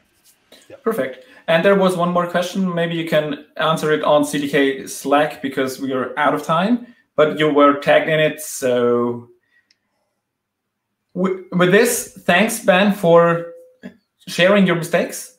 And we will You're welcome. Directly go over to the next topic. Matt will talk about creating verifiable JSON Web Tokens using the CDK, and I'm very happy to see what he is talking about. Hey, I'm Matt Martz. I'm a lead engineer at PowerSchool and an AWS community builder and I'm here to talk to you about creating verifiable JSON Web Tokens with CDK, or really, how to secure your grocery lists. So the Martz family stores our uh, grocery lists in JSON Web Token format, like everyone else. The problem is we don't actually verify the, the tokens. So uh, someone could swap out the token on the fridge and include things like candy or junk food, and we wouldn't really be able to tell. So let's spin up a CDK stack that will sign the JOTs and serve the key store so the JOTs can be verified. The stack's going to consist of a REST API, a, secrets man a secret and secrets manager, and an S3 bucket. There's also three lambdas. One of these lambdas is going to be invoked by a custom resource, and that's going to be used to generate the public and private keys and store them in S3 and secrets manager, respectively. Another lambda is going to uh, read the secret and generate the JOT using it, and the other is going to use an AWS integration with S3 to get the key store and actually verify it. So to set up the project, we are going to use projen. projen is really handy for uh, setting up proof of concept projects. You can run this this command, and pretty much it, it, it gets spun up very quickly. Uh, then we're gonna we just need to install a couple extra dependencies. So in this case, we're going to install these, and this will take care of everything that we need for the rest of the project. Once the dependencies are installed, uh, we're going to create the S3 bucket and the secret. These are only a couple lines of code. Uh, creating the secret's really easy. Basically, just give it a secret ID. And then the bucket itself uh, follows the same pattern as other buckets. One thing I want to point out is this auto delete objects. Auto delete objects, when you destroy the stack, will actually create a custom resource that will empty the bucket before trying to delete it. Otherwise, it wouldn't be able to destroy the bucket if there's stuff still inside of it. So very useful. In order to generate the keys, we need to create a custom resource. Uh, this is going to generate the key store and store the private key and secrets manager and the public key in S3.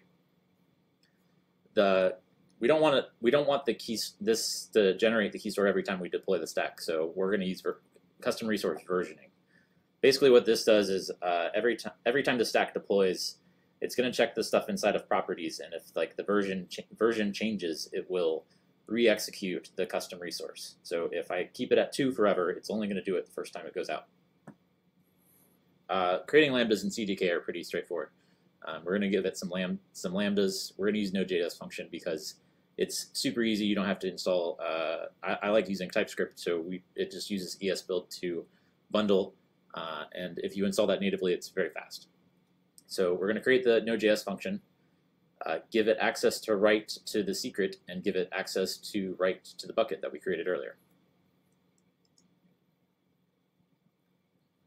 The, once the key store is created, it then actually writes it. It's a really this is a really simple handler function. Uh, it gets the secrets manager from the AWS SDK, and it gets the S3 it gets the S3 client from AWS SDK, and that it uses the create key, key store functionality to store both the secret and the public key respectively. So we're, we're going to store the public key in a jwks.json file in the bucket. And really that's going to be the only file that's in that bucket, but we'll, we'll use that later. For now, we're going to use the secret. To create the JOT, uh, we want a REST endpoint that we can post to that will basically encode whatever payload we give it and sign it with the secret that we just created. So in order to do that, we're going to uh, create the REST API, create the encoder function, and grant it access to read the secret. And then we're just going to add the resource and method for the Lambda integration. The signing of the actual token is, is easy in that it just takes the event body and uses that as the token payload, and it gets this the secret value from secrets manager and just signs it. Uh, from there, it, it returns the signed token, and you have a uh, valid JOT. So this is what that looks like. Once, once the code is deployed, you can make a post, a curl post, or use Postman or anything else for that matter, and uh, include the grocery list, and it will get encoded into this jot. So if you were to take this and put it into like jot.io or whatever, uh, you'll see the grocery list here. But we're not actually verifying it. Eh, but you know that that's been fine for now. We haven't haven't really had too many slip ups uh, with the Martz family grocery list. But I think Veronica may have overheard me tell mom that we weren't verifying the signatures, so she figured out how to uh, just generate her own jot. So that's pretty easy to do. Uh, you can go to a lot of websites, just copy copy the original token, make some slight modifications, and replace healthy stuff with candy, and it looks the same. I mean, we weren't verifying it before. Uh, looks good to me, right? So let's fix that. Uh, we're going to serve up the key store. So serving up the key store is actually pretty neat. So we stored the public key in S3. Uh, instead of having like a Lambda return it or something like that, what we can do is we can create an AWS integration uh, using some of the CDK stuff. So we're going to create a role. Uh, you, you need to create a role, and basically it gets assumed by API gateway, and we're going to grant it access to the bucket. Then we create the AWS integration, and it's for the S3 service. So the credential, the role credentials go here. Uh, we're just going to give it a simple path like this. We only want it to access this one file. Uh, you can wildcard these and get it so that uh, you have an AWS, AWS integration for S3 that you can use to access a lot of files, but we only want it to do this single file. And then uh, something important to note is integration responses. Integration responses are required in this case. Uh, if you don't include this, what will happen is the API gateway will be able to get the file from S3, but it's not expecting a, a 200 response from S3, so it's actually going to replace it with a 400 and you don't get your file. Uh, you, you could see this in the API gateway console by actually test invoking the endpoint. You'll see it gets successfully gets the uh, the S3 file, but then if you were to actually make the curl request to get the, the key store, uh, you'd get a 400. It, it, was pretty frustrating in troubleshoot, but you need this step. And then we just define the endpoint. So in order to actually verify the jot, we need to create the decoder lambda. Uh, what that's going to do is, normally you wouldn't do this, uh, but for the sake of demo, we're actually going to pass in the key store URL that we actually want to use to verify. Normally this would be encoded in your Lambda and it would only be coming from one place. It would probably be an environment variable or something. But uh, for ease, we're passing it in.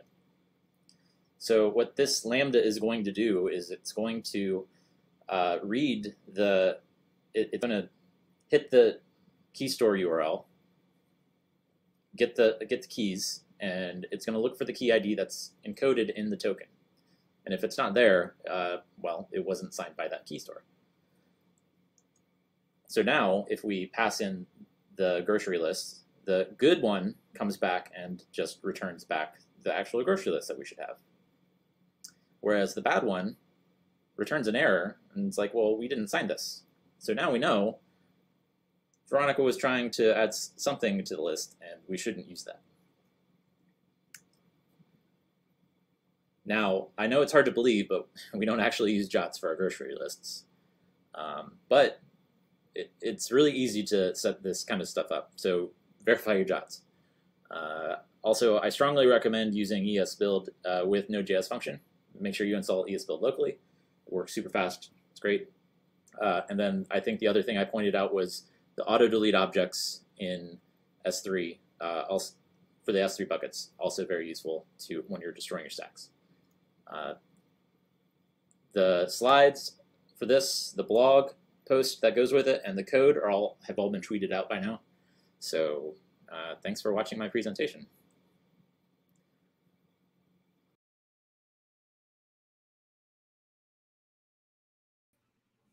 All right, Melissa, how are you doing?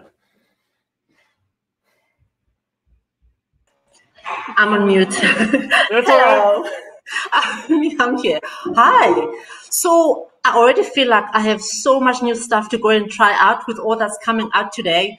And me and my very elementary CDK, there is so much for me to go and try out. That was a really awesome talk by Matt. I really enjoyed that. And uh, are we going to check out for questions quickly before we move on to the next talk? Is there any questions in the chat? Yeah, I think Matt's actually in the in the Slack channel a- answering questions uh, on this as well. So, Okay, so we're gonna move right along then. So I'm already saying new stuff for me to go and learn. I'm looking forward to the next talk. We got coming up Sebastian, and he's gonna talk to us about JSII projen for writing your CDK constructs. So that's on with the next talk. I'm looking forward to that. So Eric, right. yep, here we go.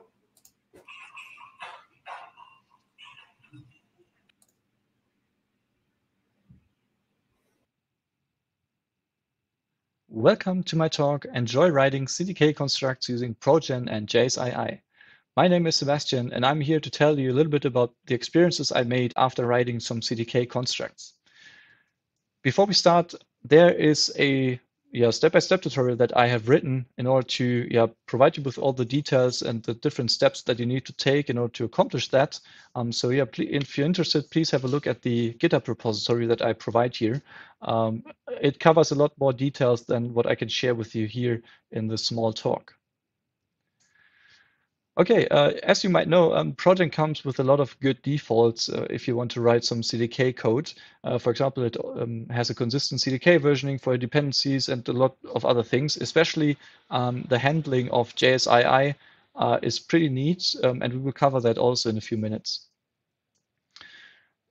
If you want to do that and you want to translate your constructs into different languages, you need to take care of some small details that uh, are important when the code is translated into other languages. So for example, here we have some uh, construct that accepts some properties, and I have provided two different ways how you can write the, uh, the properties, and they translate differently into the other languages.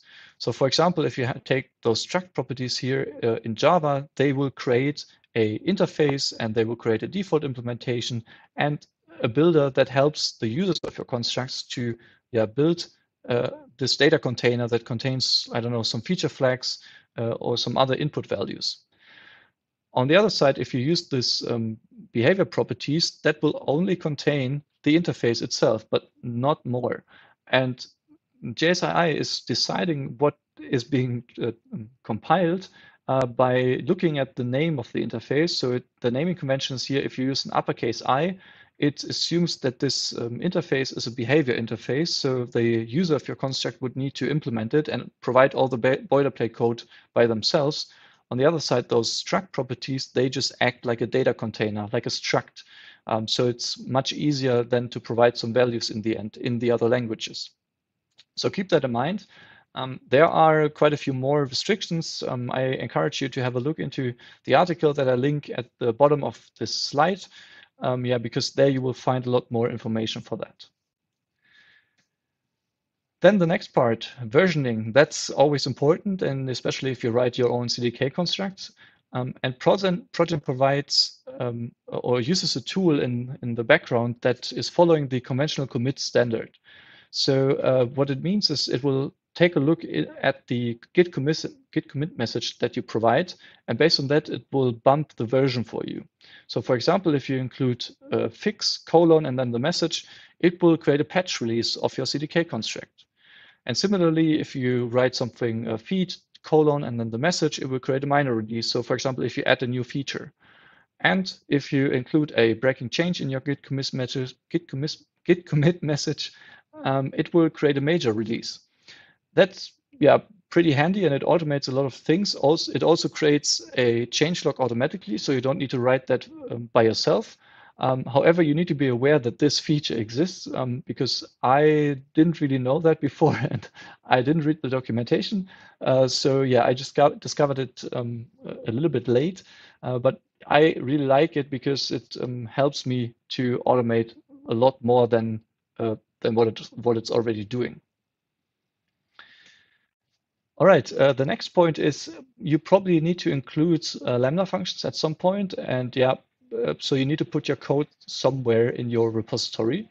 Um, so that could either be uh, like into your source folder, uh, you could include um, your TypeScript code if you're writing your Lambda function in TypeScript, or um, it might also make sense in some cases if you write um, the code in a different language, like for example Python, you don't want to include it in the source folder. Uh, I don't know, because you um, do some XOR processing or whatever. Um, technically, it doesn't really matter uh, from the perspective of that you should keep your code together. Like if you have your construct that is using a certain Lambda function code, you also probably want to, to take this close together, um, depending on the size of your construct. That's up to you.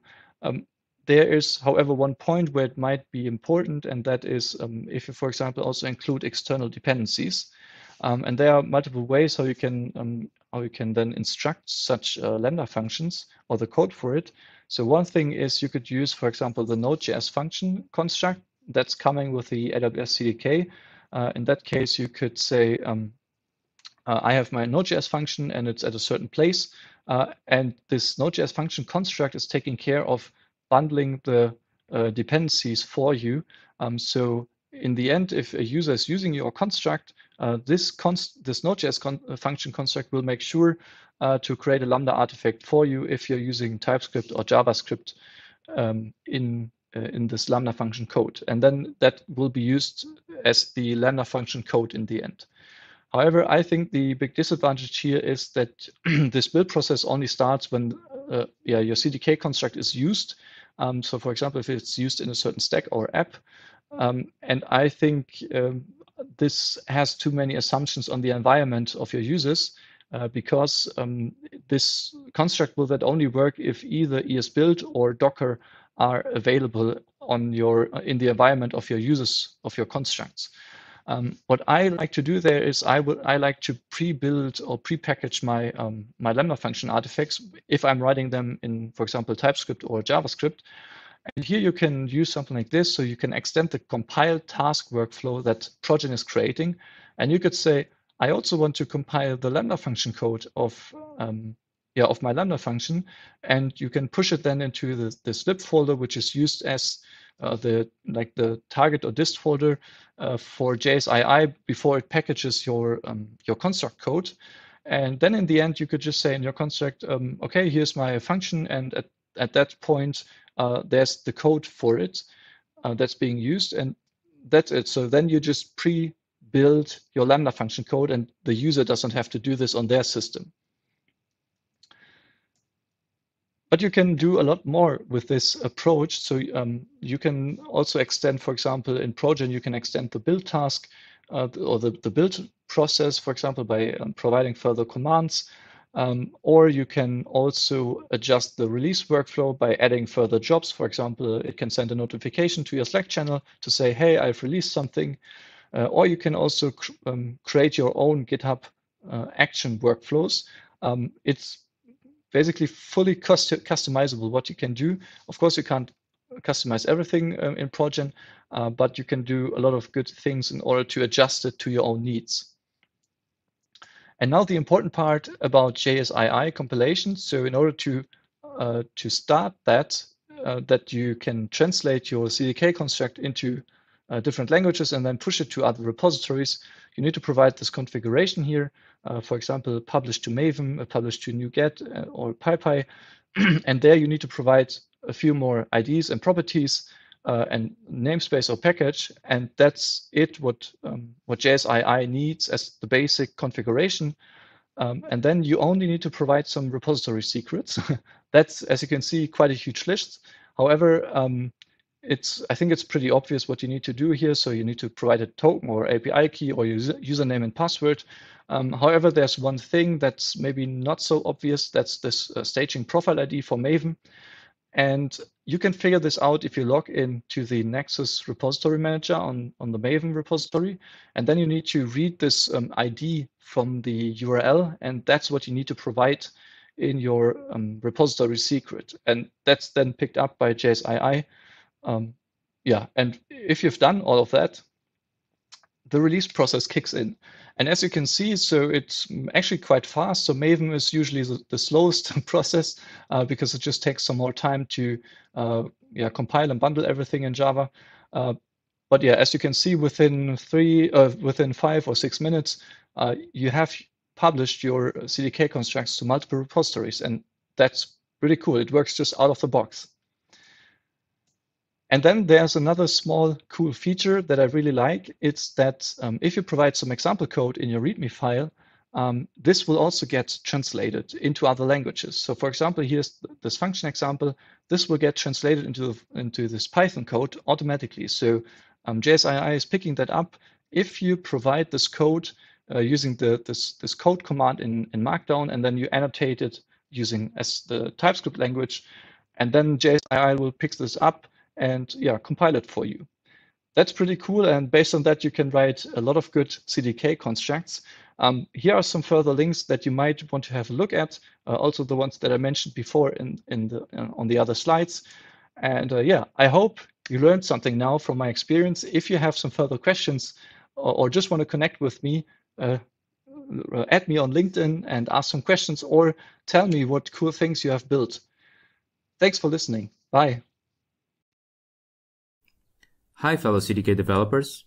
Ever worried you might be introducing a bug in your code that could affect your infrastructure?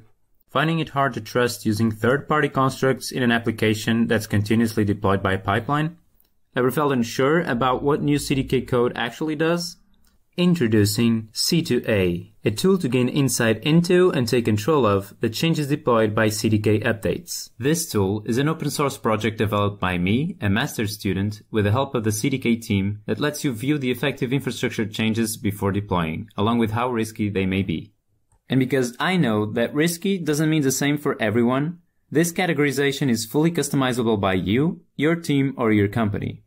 And while having this extra information already sounds great, we're taking it a step further.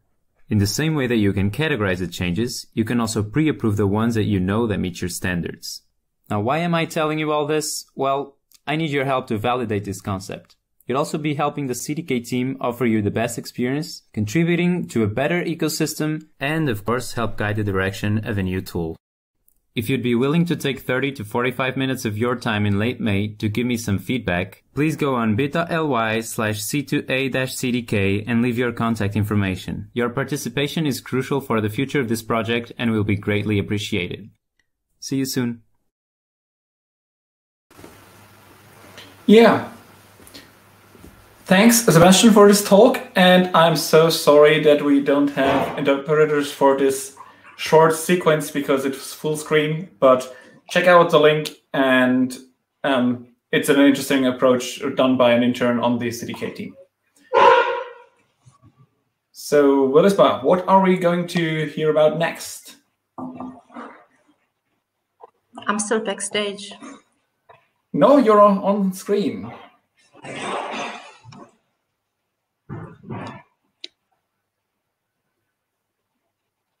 Okay, I think we have some technical things here.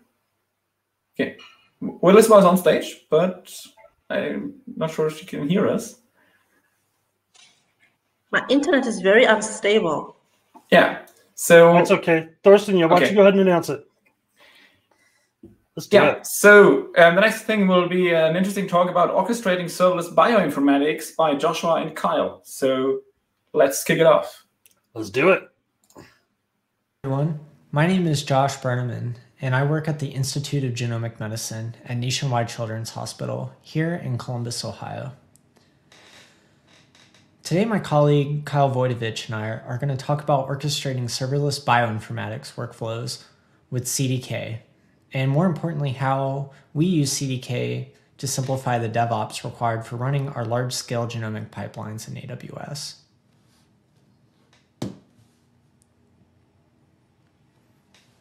At IGM, we run different analyses on the genome. This includes identifying genetic variants in tumors and diagnosing rare diseases.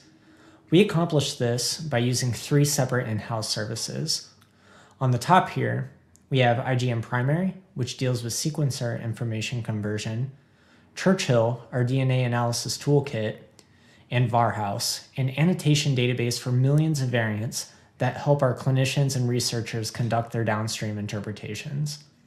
Today, we're just going to focus on the DevOps for Churchill. While developing Churchill infrastructure in AWS, we had a few goals. We wanted to redesign our pipelines as microservices and implement them as serverless applications. This would inherently mean that we would be able to scale our applications on demand and pay for what we use while moving away from our older monolithic design. We also wanted to provide an easy way to deploy containerized applications for our scientific developers. And many of our biological applications are versioned so that they can be run in a clinical setting or later reproduced for literature.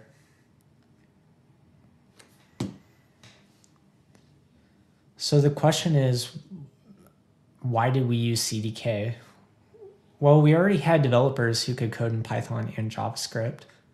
The object-oriented design also allows us to develop reusable constructs for many diverse use cases and analyses in comparison to standard JSON and YAML.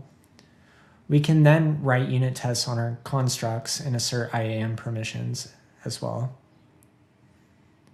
We were able to deploy our version versioned applications as CloudFormation stacks, uh, which means that they can be easily deprecated or redeployed at will.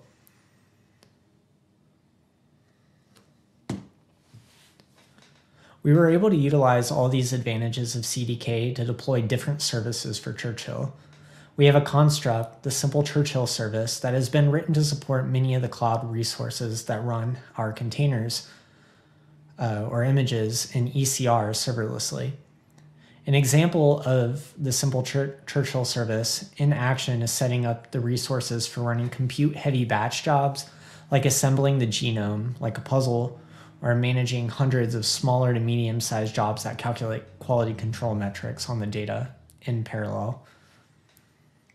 The simple Churchill service custom construct child class uses the AWS batch job definition construct to run an existing Docker image in ECR on managed compute environments or Fargate.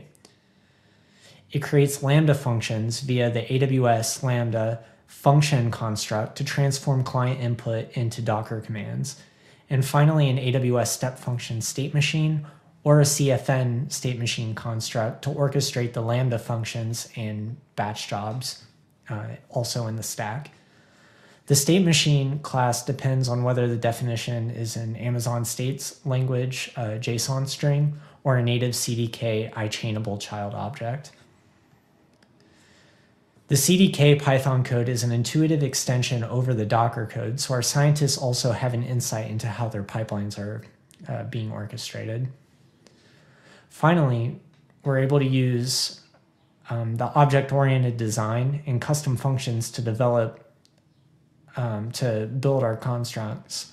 Um, for example, in the image on the slide, we wrote a class method that will render an Amazon States language formatted JSON file which is written as a Jinja 2 template, um, Jinja 2, the Python library. Another example would be to supply logic for creating batch job definitions with either Fargate or EC2 compute using a Boolean flag. Using this architecture, we can now deploy all of our individual scientific pipelines to new stacks by using a simple command, cdk deploy. As you see in the image on the right, each of the bioinformatics services uh, 1 and 2 have different stacks per version. Next, Kyle will cover how we put this all together. Hi, this is Kyle. I'm going to give you an overview of the higher level resources that we use to coordinate the execution of the services that Josh talked about. As an overview, we have this large application that we call Churchill, which consists of many smaller services which perform alignment, variant calling, QC, and more.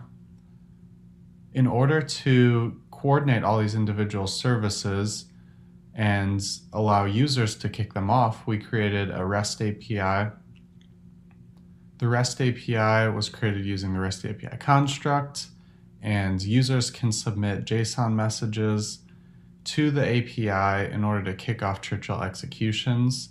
So on the top right of the screen, you can see the block of JSON with the list of services that the user wants to run, some input parameters, and a list of samples with data about those samples.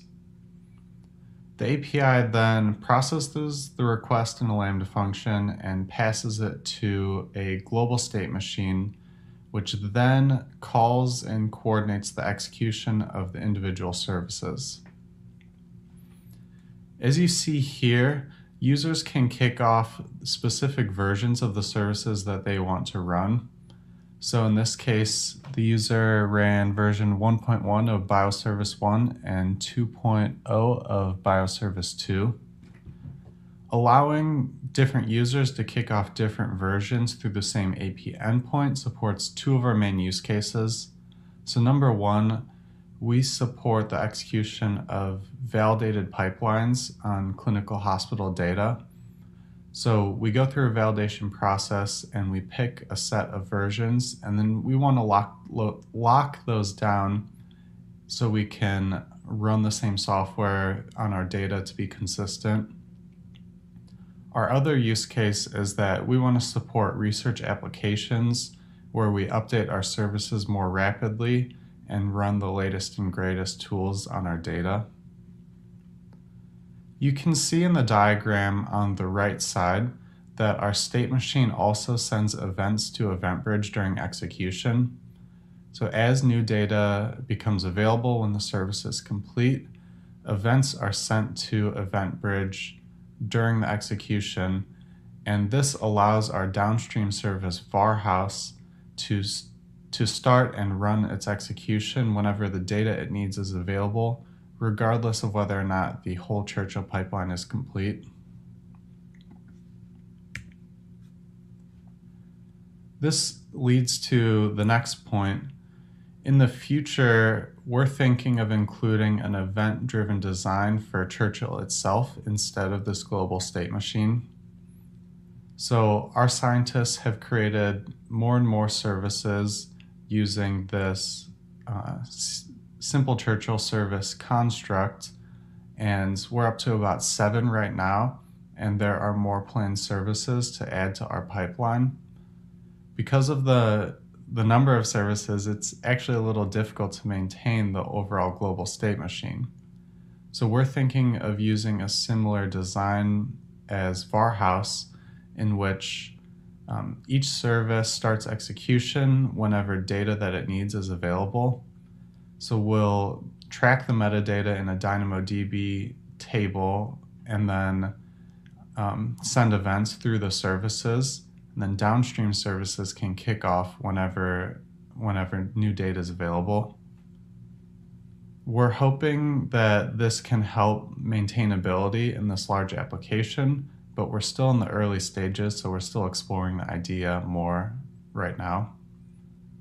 Another future direction, we want to use CDK pipelines for our continuous integration and continuous development because currently we have some in-house constructs to create those resources, code pipeline, code build, and so on. And it, it'll be more convenient once CDK pipelines gets a little more mature. So we're excited for that. Well, thanks for listening. If you have any questions about bioinformatics or about the CDK work that we're doing, I'm sure you can message us through Slack. Thanks.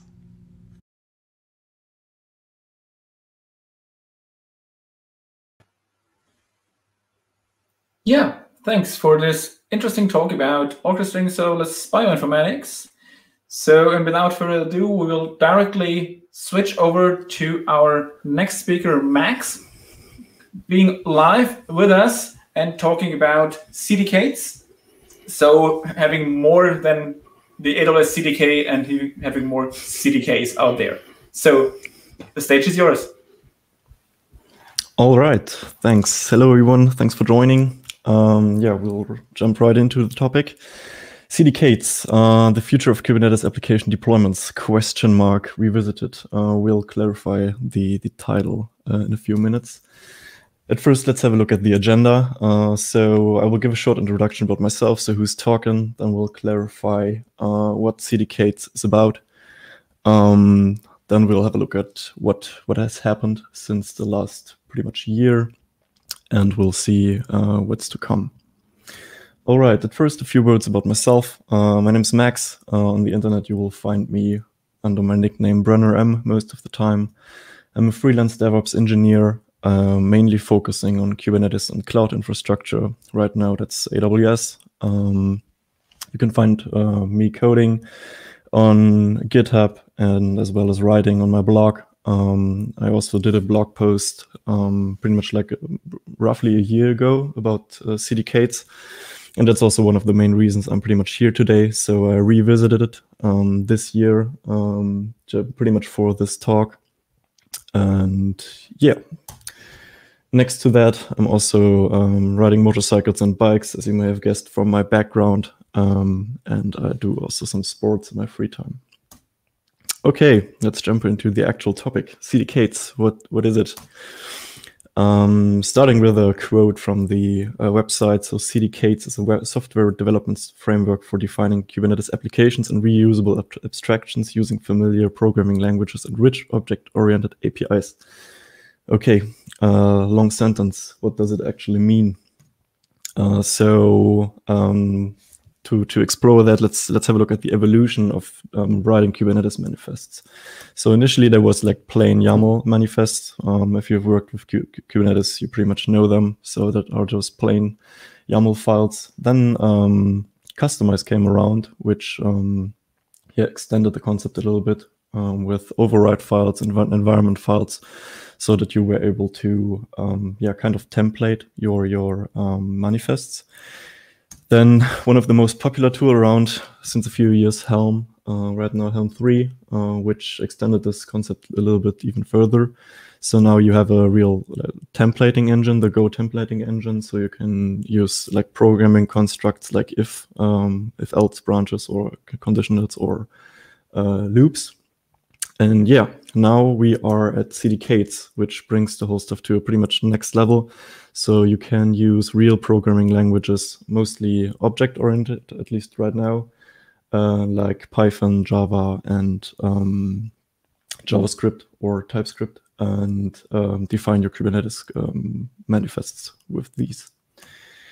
Okay, so um, having a look at where we come from, so that's pretty much like the plain YAML manifest that I was talking about. Um, in this example, it's a deployment. Um, you give it a you use a version, you give it a kind, you give it a name, you give it a replica count. In this case, two. Um, you do the whole um, labeling magic, so the replica controller knows um, what what pods it should take care about, and then you define your containers, giving it a name and an image. So how does this look in cdk8s? Um, so in cdk8s, everything starts with a chart. I will go over what's that in a minute. Then you give uh, define just a variable here. Um, it's a dictionary defining our label. By the way, that's Python code, as you may have guessed it already. Um, I will also show some some other languages uh, in the next minutes. So yet again, we will we are deploying a deployment um, this case, you can see the, the class that we are using here is coming from the K8s namespace. So that's pretty much what, what um, CDK8s um, yeah, delivers us. Then we give our deployment a name. Yet again, a replica. We'll do the whole um, label management and we define a container. And then we define a so-called app. I will also go over this concept in a minute we add our chart to it, and then we execute the so-called synth. Synth stands for synthesize, so that's pretty much the function that takes our uh, Python code in this case and transfers it into uh, the manifest file, so YAML files. Okay, so going over the concepts of cdk8s. At first, we have an app. Um, the app is pretty much just a container for multiple or, or a single chart and it's the entry point for for the synthesizing, just uh, the, the function call I just showed. Um, so there's also some configuration that you can do here. So for example, the output directory uh, where the synthesization will um, yeah will put the files in. That's something you can set here. Then there are charts. Um, don't confuse them with with um, Helm charts. They're kind of similar, but also something else. Um, so there are container for constructs. I will explain the term in, in a second. And what's what's pretty important about uh, a single chart will always result in a single Kubernetes manifest. So if you have like multiple resources that you want to aggregate into a single manifest, um, put them all in one chart, and they will result in one file. Also, you can declare some global values here. So for example, in Kubernetes namespace, you want to put the resources in or certain labels.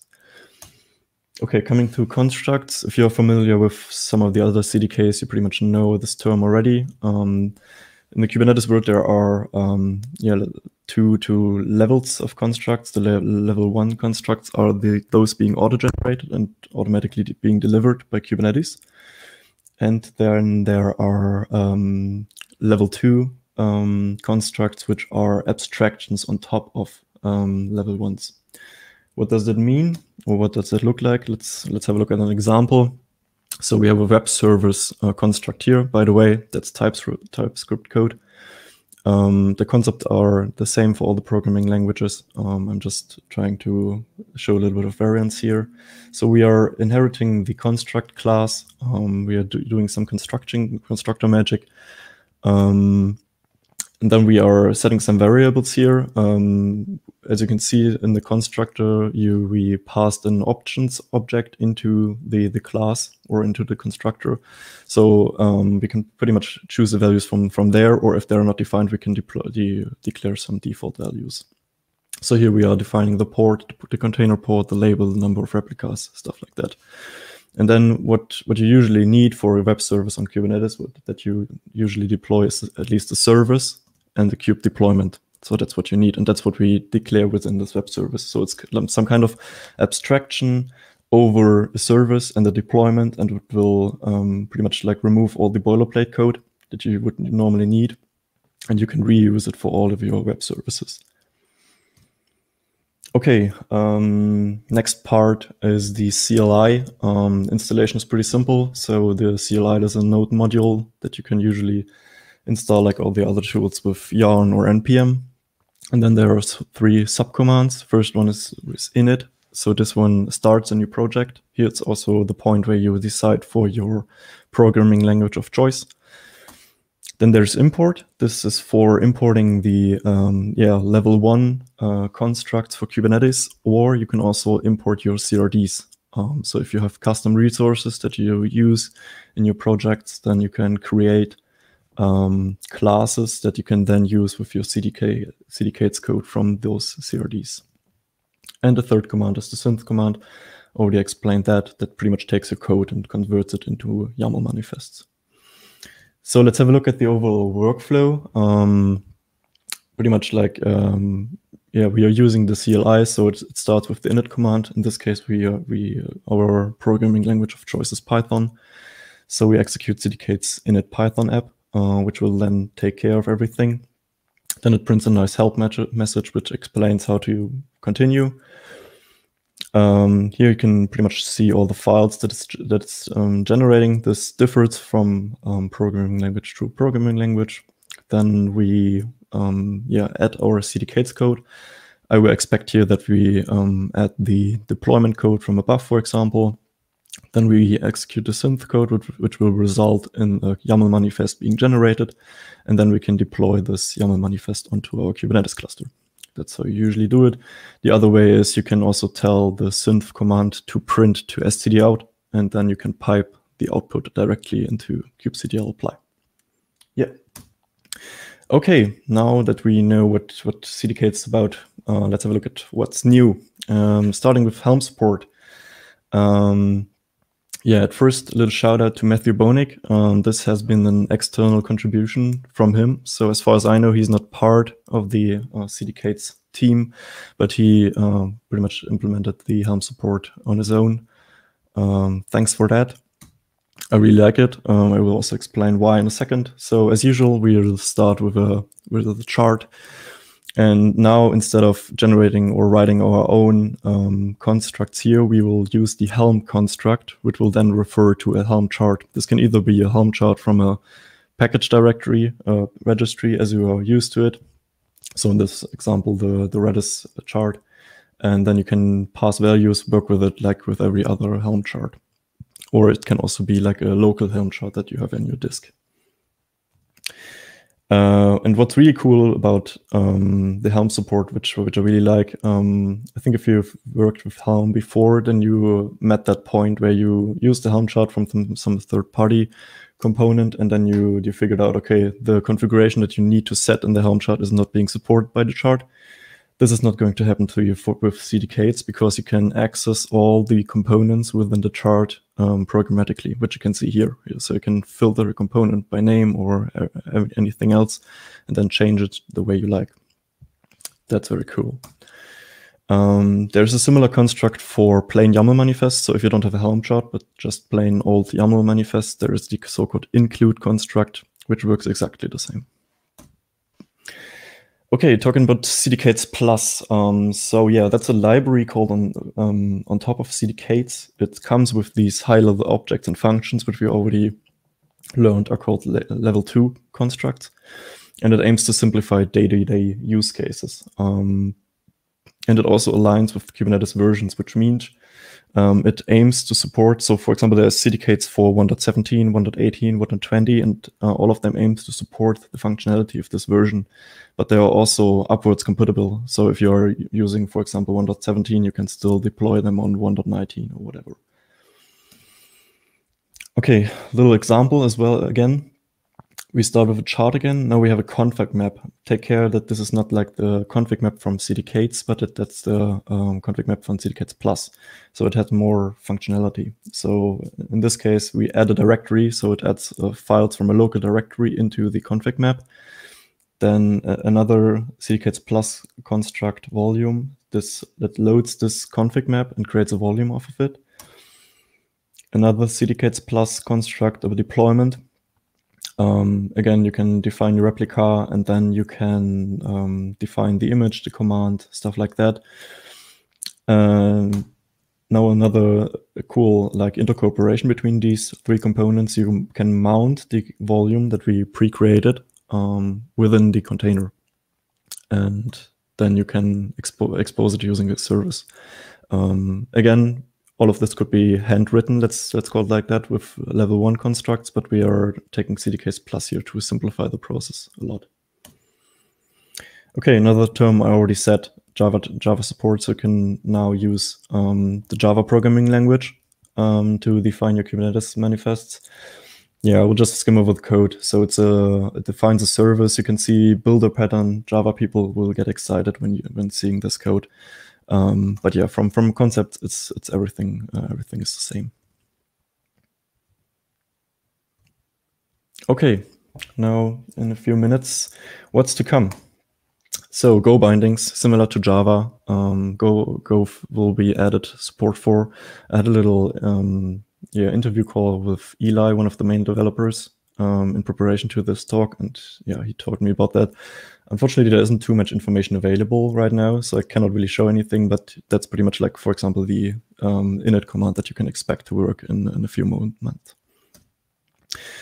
And next big thing, 1.0 will be coming this year. Um, the main goal for now, at least what I've heard, there won't be any major features coming till then right now it's uh, mainly about stability so that the the interfaces the apis um, will will get stable and also the cdk8s plus api versioning already explained beforehand um, will be finished until then.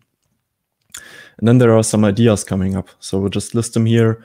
So it's about helm chart generation. So you can take your cdk8s code and generate helm charts out of it. You can um, publish constructs as crds meaning for example the web service i, I showed earlier um, think of an operator running in your um, Kubernetes cluster that can take a YAML manifest um, based on this construct, so a web service custom resource, and um, create the, the according deployment and service out of it.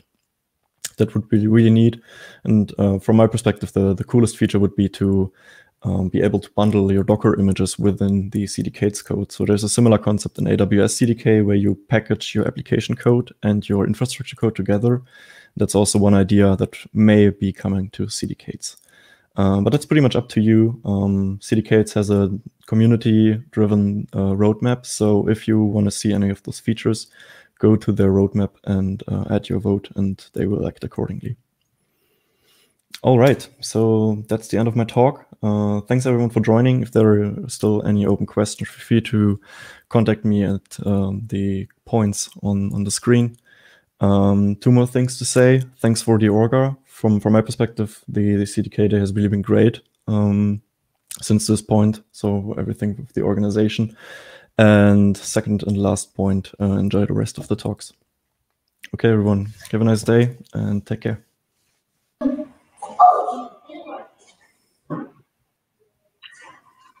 Looks like my internet is behaving long enough for me to introduce the next speaker. Thank you so much, Max, for that. That was really awesome. So up next, we have Galaletsang on her serverless experience with CDK.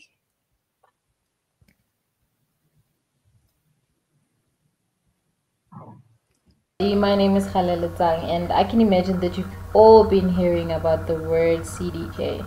It's been used a lot today, and I can just tell you that I'm also here to add to the counter. So the documentation on the AWS website says this about CDK. The Cloud Development Kit is a software development framework for defining cloud infrastructure as code, and it does so by provisioning it through CloudFormation. In simple terms, a CDK app is written in the programming languages of your choice using the AWS CDK to define your AWS infrastructure.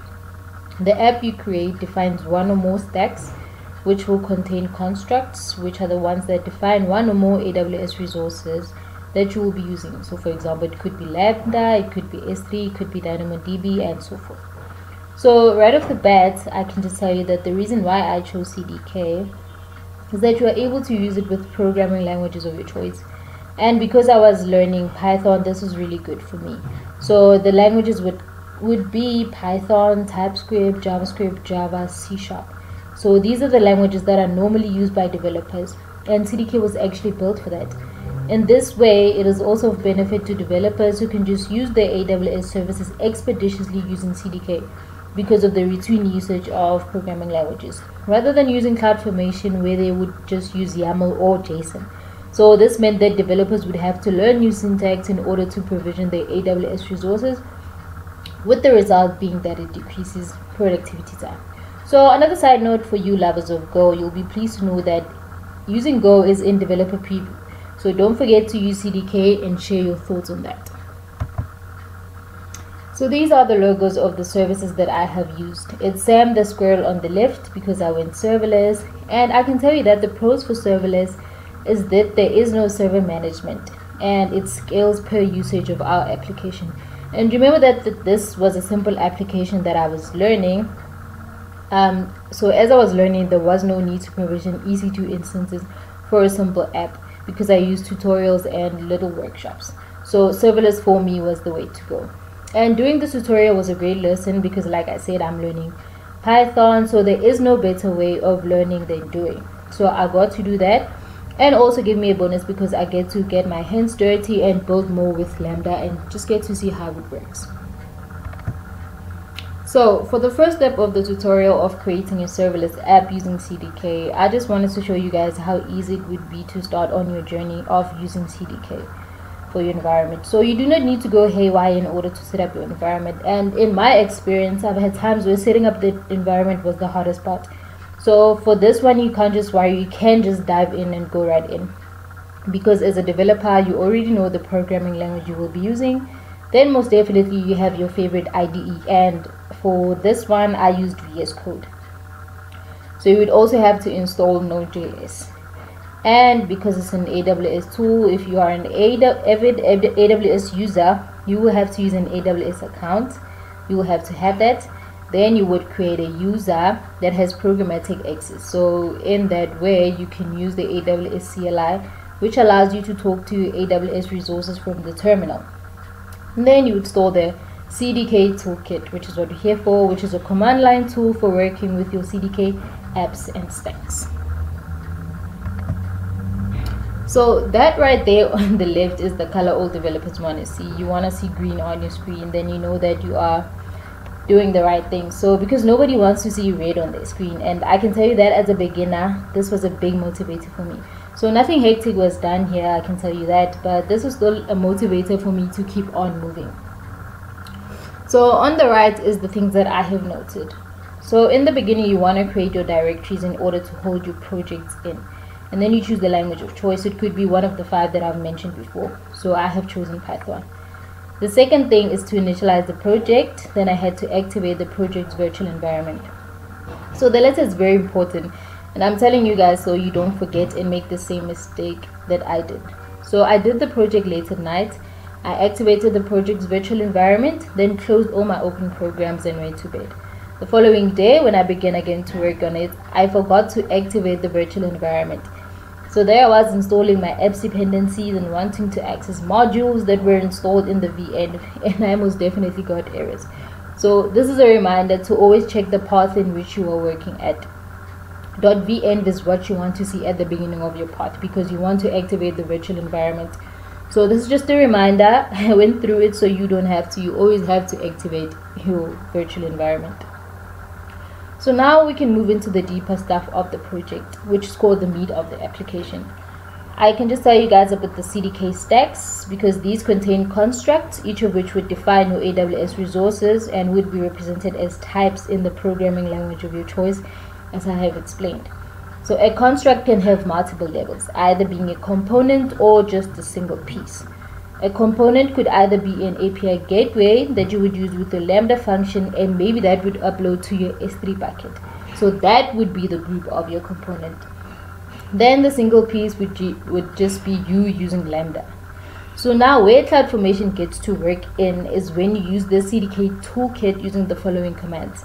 So CDK Synth, you, it's the toolkit that provides the ability to convert one or more AWS CDK stacks to AWS CloudFormation templates and related as so it's a process called synthesis cdk synth synthesis and to deploy your stacks to an aws account and we would do that by using the command cdk deploy to simply deploy the specified stacks to our account and for people who'd want to be extra meticulous you would use the cdk diff just to see differences between our cdk app and what will be deployed it simply allows you to see the modifications you have made and it does so by comparing the specified stack with the deployed stack or a local CloudFormation template.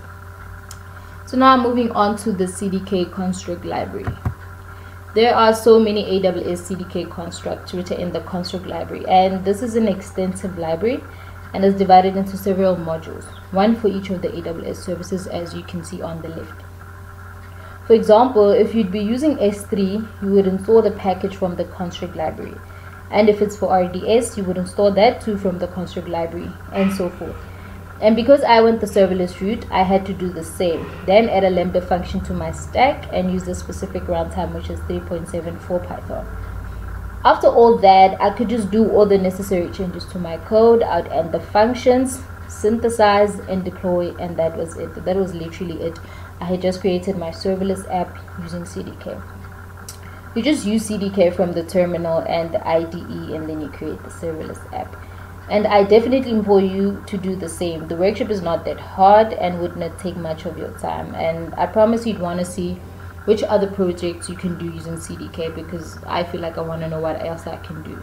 And then there's so many examples that you can get from the web, like on GitHub and the tutorials on the AWS website which are also checked and my first and favorite being the CDK workshop by Elad who will be having his talk later on. So we are through with my talk and enough with the technicalities. I just want to say that I had a wholesome experience and I have learned a lot from these tutorials. One thing I also loved about the CDK workshop is that they want you to type the code instead of copying and pasting. And you know how developers are with control C control V so you don't want to do that on these tutorials. So because if you write the code you learn more and you get to see the effect of code completion. And it also gets easier for things to be embedded to your memory when you type them out. And with all the experience I will definitely try to do more with what I have learned and side note don't forget to use this command cdk destroy at the end of your tutorial because you do not want unexpected charges on your account so I'd love to give thanks to Taiti and Veliswa who have helped me create this talk and definitely keep me on my toes with the tasks that I had to do in order to give you guys this talk. A definite thanks to the CDK team who have created this marvelous framework and keep on maintaining it so we get to enjoy and play around with CDK. My name is Khali, and thanks for giving me 10 minutes of your time. Follow me on Twitter, LinkedIn, and do check out my work in progress blog where I get to digress some of my learnings. Thank you guys. Did I mention this? That Khali and I are homegirls. I've been so excited about Khali's talk. That was awesome. Thank you so much, Khali. Thank you for that talk. So now I'm going to hand over to Thorsten. Yeah, and I'm happy to introduce um, our next um, talk about observability for CI/CD with Nočnica. I hope I got it right. Oh, you did it just right, Thorsten. Perfect. so, so the stage is yours. All right, everybody. Uh, I'm going to go ahead and start sharing my screen so we can see the presentation. If I could just get a thumbs up or, oh, hey, it looks great. Fantastic. Okay, so uh, the, the, the sort of this talk is, as you see, without observability, CI CD doesn't work. Um, love to have an interpreter here. We should be a, a pretty straightforward talk. I sometimes get to talking a little bit rapidly, but we'll do our best. We'll all we'll all try to muddle through. Let me just do start a timer though, because you know we don't want to realize that we've taken 45 minutes when we did not mean to. Okay, so a little bit about myself. My name is Nočnica. Nika is fine if you have trouble pronouncing Nočnica, but I will make fun of you. Um, I work at New Relic. I am a dev advocate specializing in serverless and cloud engineering. You can find me on Twitter at serverless mom and on Twitch at serverless mom, where I do try to mainly talk about serverless and other fun things like that. Okay, we've got a little bit of audio echo. So, um, Arthur, if you could maybe just turn down your speaker just a little bit.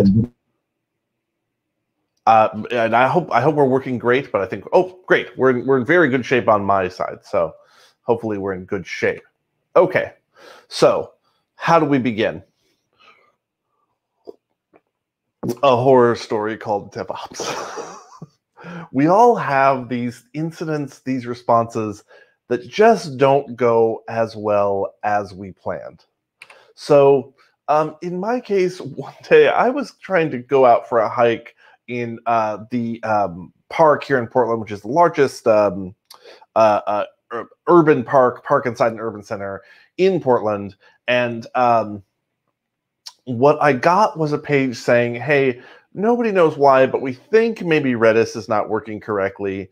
And this, of course, didn't start there. It started with uh, we had a salesperson who was presenting material, of course, in a demo, of course, for one of our enterprise customers, and the product was not working as we expected. So everybody had their own theory, and I know this is a dense slide, but I'm actually going to read it because it really is a pretty good uh, um, uh, uh, synopsis of what we saw in our in our Slack chat for the incident. Right? We said, well, throughput is the same, the number of requests coming through is the same, but maybe our DB queries are getting beefier, they're taking longer. Uh, let's ask a DBA or database administrator to take a look. Uh, somebody else replied, hey, you know what? I don't think the problem is even on the back end.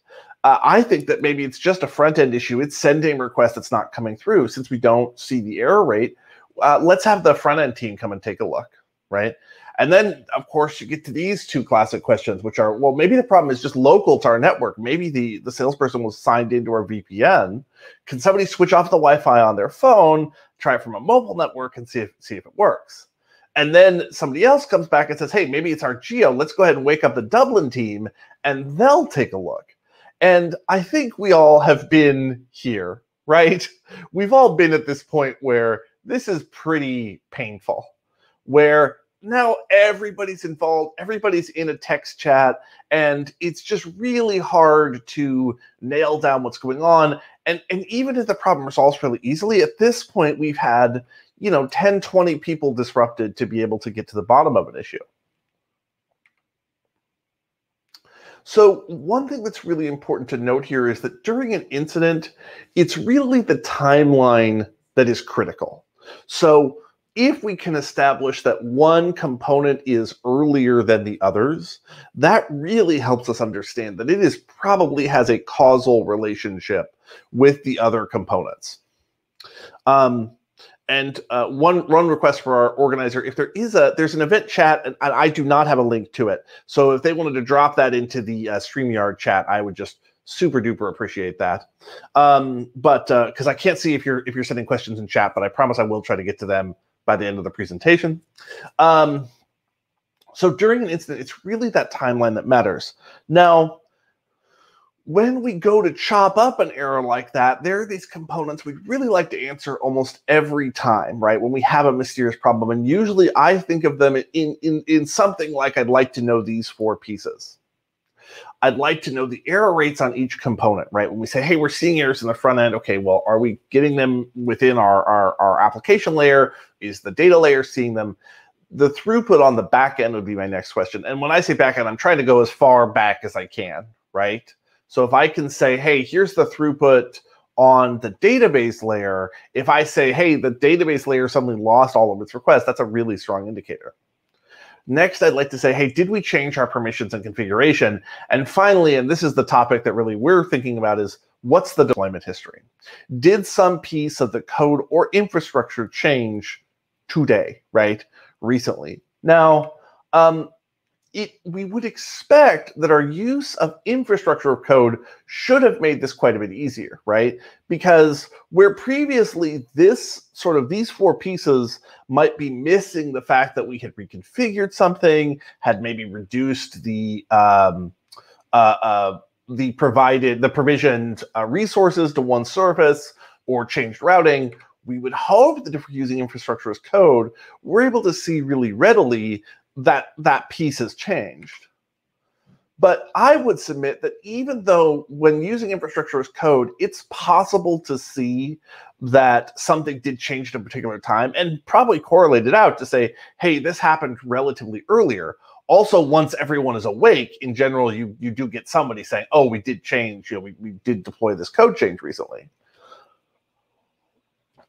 But there are really two barriers to that as a complete understanding. The first is that hopefully we are moving towards an extremely, you know, continuous deployment world where it's really not that notable that we released some code. So on the human side, it may well not be that the uh, team lead or incident response person from a team knows for sure that no code has changed. And then secondarily, I would submit this is a, this is a slide that shows up in every one of my presentations wherever I go, the speed with which we can read a dashboard has a direct effect on our observability. So, you know, it may be that a code change is, is findable somewhere as, as, as, a, as a repository commit, but that doesn't mean that we can uh, that we can do it quickly. And so we still have everybody woken up and everybody uh, pinged to try and figure out what's going on before we say, "Oh, right, this piece changed beforehand." This is um, this is a, a, a, Prometheus a Grafana dashboard on a Prometheus database, and I, I show it here. Obviously, we're not going to read any of this tiny tiny writing, but I do say, you know, hey, you can look at this and you can start to have a theory right away about what is the cause of our problem, and I really really like that uh, that piece. And in the end, this sort of results in a pretty difficult mindset, right? Uh, we just sort of we get to this point where even after the thing is resolved, we're like, I just I don't want to deploy on Fridays. I don't want to deploy, um, you know, uh, to these components. I want to limit people's ability to, to to release things. It's just something we're like, boy, this is this is tough. It's tough to support. So I've talked a couple times about observability, and I'm going to take just a minute to say, hey, what is observability really? Um, because you know, is it just a marketing buzzword? It's a very common term, specifically on the west coast of the United States, but it, is not necessarily used everywhere else. Um, so I think of observability as being the speed with which we can understand a problem. So, you know, this is a pretty low res picture, but if you take a look at it from it, you can pretty quickly say, oops, there is a problem here. We are having a problem, right? And uh, ideally, we want to go from knowing that we have a problem to understanding what we might do next pretty quickly. And and and that is all all that observability is is is the time it takes us to do that. So we can have situations that have almost no observability, like um, if we know that we have a problem with sort of a classic, uh, you know, maybe self-hosted or virtual uh, server, and we say, oh, um, it, it gets in some weird state, it stops working in this specific way, and then you just restart it. And so in that case, you know, we're able to fix a problem, but we don't understand it at all. So we sort of have like no observability.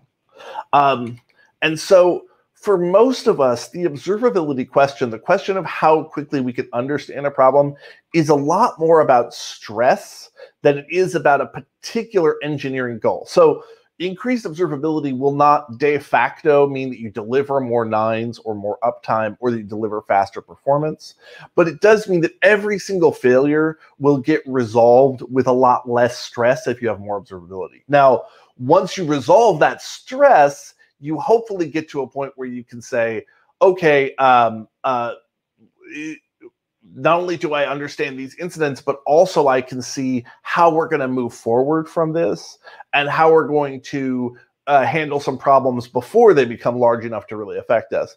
I keep my goals for observability on a team kind of low.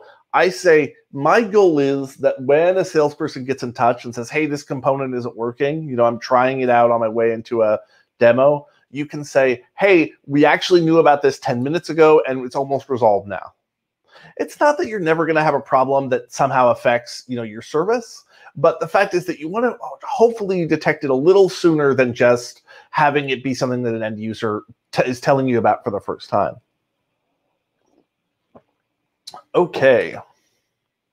So how do we get to this point? How do we get to this point of having real observability of our complete stack?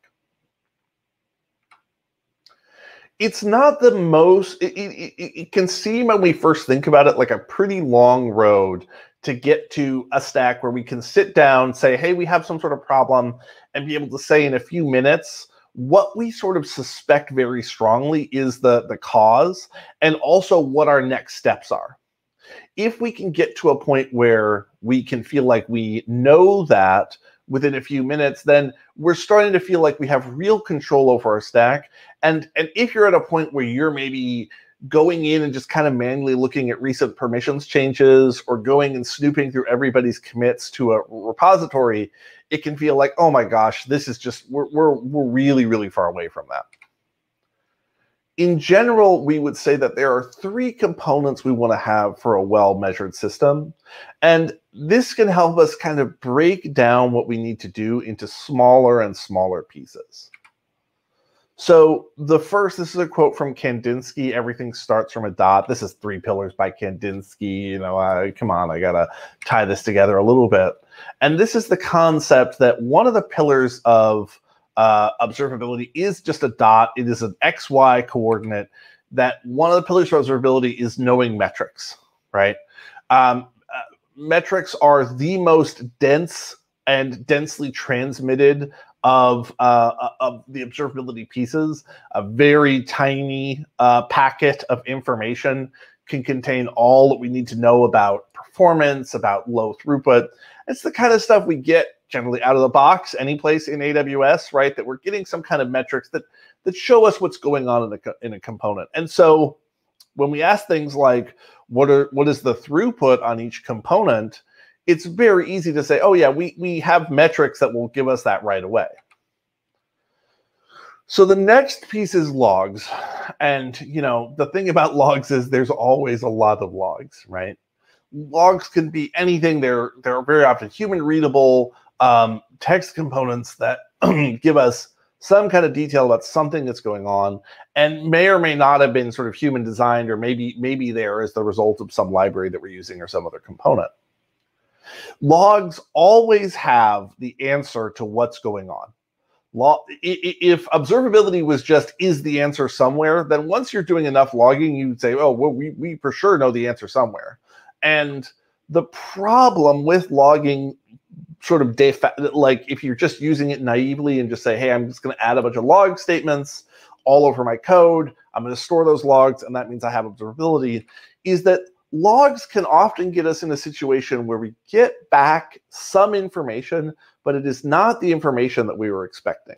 So in this case, uh, you know, this this is a, a, classic story that Diogenes of Sinope asks Plato to say, you know, you can't define anything. You cannot uh, uh, absolutely prove anything to me. He says, Plato, just tell me what, what what is a man?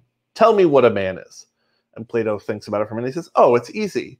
A man has no fur on, on, on his body and he walks around on two legs, and that's a man. And I just did it in two sentences, so I can define anything very easily. And Diogenes says, Look, I've brought you a man. so with logging, this is the real, this is the very real problem that we have with logging. When we say, oh, I want to go in and get some information um, from logs, we'll get a lot of results that may not be exactly what we're looking for. The last piece of, of, of, observability is tracing, and tracing is about detailed performance monitoring. And so it doesn't, it's, we're not going to talk about it here, frankly. Uh, it doesn't make a ton of sense for, for this issue. When we're talking about a failure or an error, tracing is usually not going to help us. Tracing is things like storing the time spans that every uh, act takes, and also how those requests are connected and that piece for that piece you could say that tracing is useful. So something like aws x-ray is useful but um, it is not it's not part of this talk. I just want to say it's the third pillar. So we'll we'll we'll, we'll move on from there. So um, let's talk about a brief history of the concept of tracking um, uh, deployments and other code changes in a way that is usable and quickly readable so um, I worked for New Relic, and back in the day, uh, uh, when New Relic first had a concept of tracking um, deployments, let's let's talk about how we did it at, at the outset. So um, early on, this is a mock-up that I made because this interface is not a, is no longer active on New Relic, but it, it's it's still a pretty good representation of what it looked like. When we first thought, hey, we want people to track deployments along with metrics we tried implementing an API endpoint to say, hey, there was a deployment on this application or this entity. And it sort of was, it was like a specialized event database that said, um, give us a time that the deployment happened, give us what entity it happened to, and then a short string that explains what it ha- what happened. So if you if you would hover over this indicator line, it would give you some sentence about about what had happened. And so, you know, this at first was a pretty good, you know, initial implementation of that concept. So um, it would show up on graphs everywhere for that entity, and um, you could hover over and get a little data. Now, if in, implicitly this was a bit limited, right? Because you had to design a system that when it when you were deploying code was always sending out something to our API endpoint. And since this was back in like 2010 or 2012, um, you know, there wasn't the ability necessarily to automatically connect, you know, every single deploy to a deployment indicator. And the other piece was being tied to a single entity, trying to trying to tie down, hey, this change happened to this application was a totally reasonable concept when we were deep in the virtual machine world, but it wasn't necessarily as reasonable once you're having like whole swarms of microservices that may have interdependencies and so may very actively be affected by changes that have happened to other services. We did, however, find a really interesting uh, uh, corollary once we did any kind of deployment indicators at all, which is that while we thought of it as being an incident response tool to say, hey, we're suddenly down, we suddenly have no throughput on a particular service, um, uh, we instead saw that a very common use for it was when kind of metrics had just shifted a little bit. So, uh, you know, a, a, classic example is something like this. I was worried our ads weren't working. Turns out the last deploy broke our analytics. So instead of a, a, marketing team running around and saying, oh my gosh, our AdWords are suddenly ineffective or we need to spend more money over here, we said, oh, we just deployed something to the front end and suddenly our throughput here dropped. It must be that we deployed something that, that broke our metrics. And so, uh, um, and so this very effectively showed us that the value of seeing when deployments happened stretched a lot further than just responding to single alerts and more into a deep understanding of how our system was working. So with the CDK and and and in a larger cloud environment, logs are very often the way to go and build that kind of real insight So rather than using like a specialized event database that is just for logging, uh, you know, just for for storing deploy information, um, which is more of a specialized case, logging absolutely is the way to, to, to get the kind of deep information we actually want about what's changing on deploy. Now, we're uh, almost out of time. Um, and uh, I'm not going to presume to like uh, exactly instruct us in how we're going to make these connections for our team. Um, there absolutely are great tools out there, and I'm going to talk about a few of the sort of general ideas for moving to a space where deployments and other code changes are more observable by your whole team. So here's a few that I think are really, really key. So one is, and I apologize, the text is just a little bit small, but I'm going to read through all four of these. Is one is to have CloudWatch emit, emitting signals when we have a log matching a pattern. So rather than going through and trying to find patterns ourselves, if you do the time uh, do uh, do the legwork ahead of time to say, "Hey, CloudWatch, when you see a log event like the, uh, a log line like this, uh, uh, go ahead and emit a signal."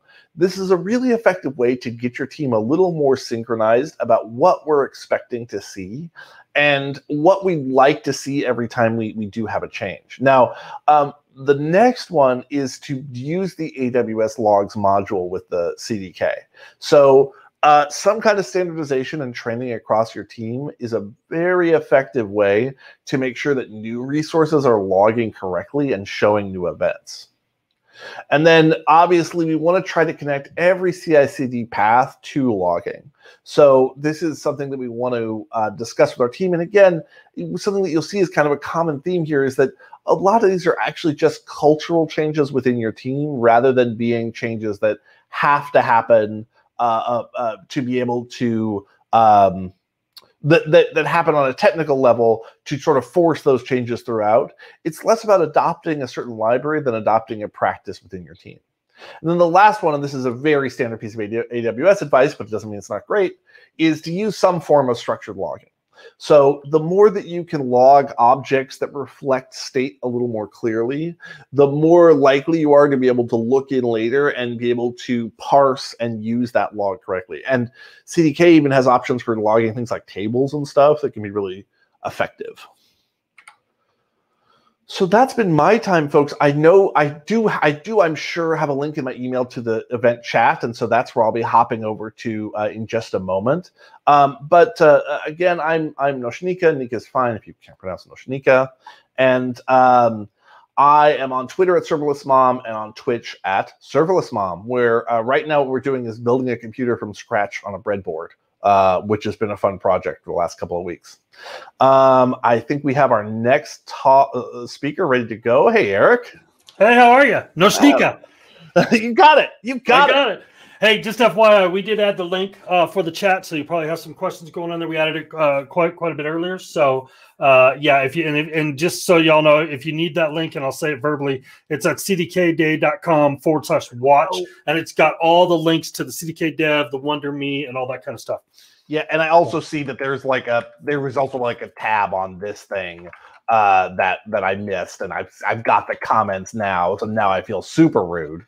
There'll be a lashing later, and, and we'll we'll have it out. But no, you're good. Everything's good, and and uh, great talk on observability. Uh, I'm a huge fan of observability. I'm not, you know, and and I'm passionate about it, and I love that you talked about it. So thank you. Uh, uh, so I do. If, if, it's okay. We got a couple minutes. So you mind if I answer yeah. the questions that are in the comments? Please First do. Of all, Please do. Yes, yes. This does say Jiaozi or dumplings uh, because I love dumplings. So I'm glad to have uh, neon that, that, that, says so. When I saw this, when I saw this piece of neon for sale, and there was some in the Mandarin that I could actually read, I I, I love it. Um, yeah, and, and, thank you, thank you so much for the replies. I really really appreciate it. I know some people have seen me. Uh, uh, streaming on Twitch and uh, seeing some of the captured streams on YouTube, which I which I love. Um, and then what was the name of the drawing at the beginning? What was the name of the drawing at the beginning? What was the name? Three well, three pillars by Kandinsky. That's what's the that's the actual piece of art that I had. Uh, and then this is a this is a book plate from the actually from the uh, Shakespeare project that there was this illustrated Shakespeare that was released in about 1850, and there's a project with some university to release it. If you go, if you go and Google like Shakespeare plate um, public domain, you'll you'll find them all. And so uh, I love it because it's illustrations of Shakespearean scenes in kind of like 1840s, like uh, uh, uh, uh, components. Um, the one about Plato. Oh yeah, that's just that's just I don't know. That's just Diogenes of Sinope. I absolutely love uh, talking about Diogenes quotes, but uh, yeah. no, no, the Plato one. I don't. I didn't have a picture of Plato, but oh, this here is Three Pillars by Kandinsky.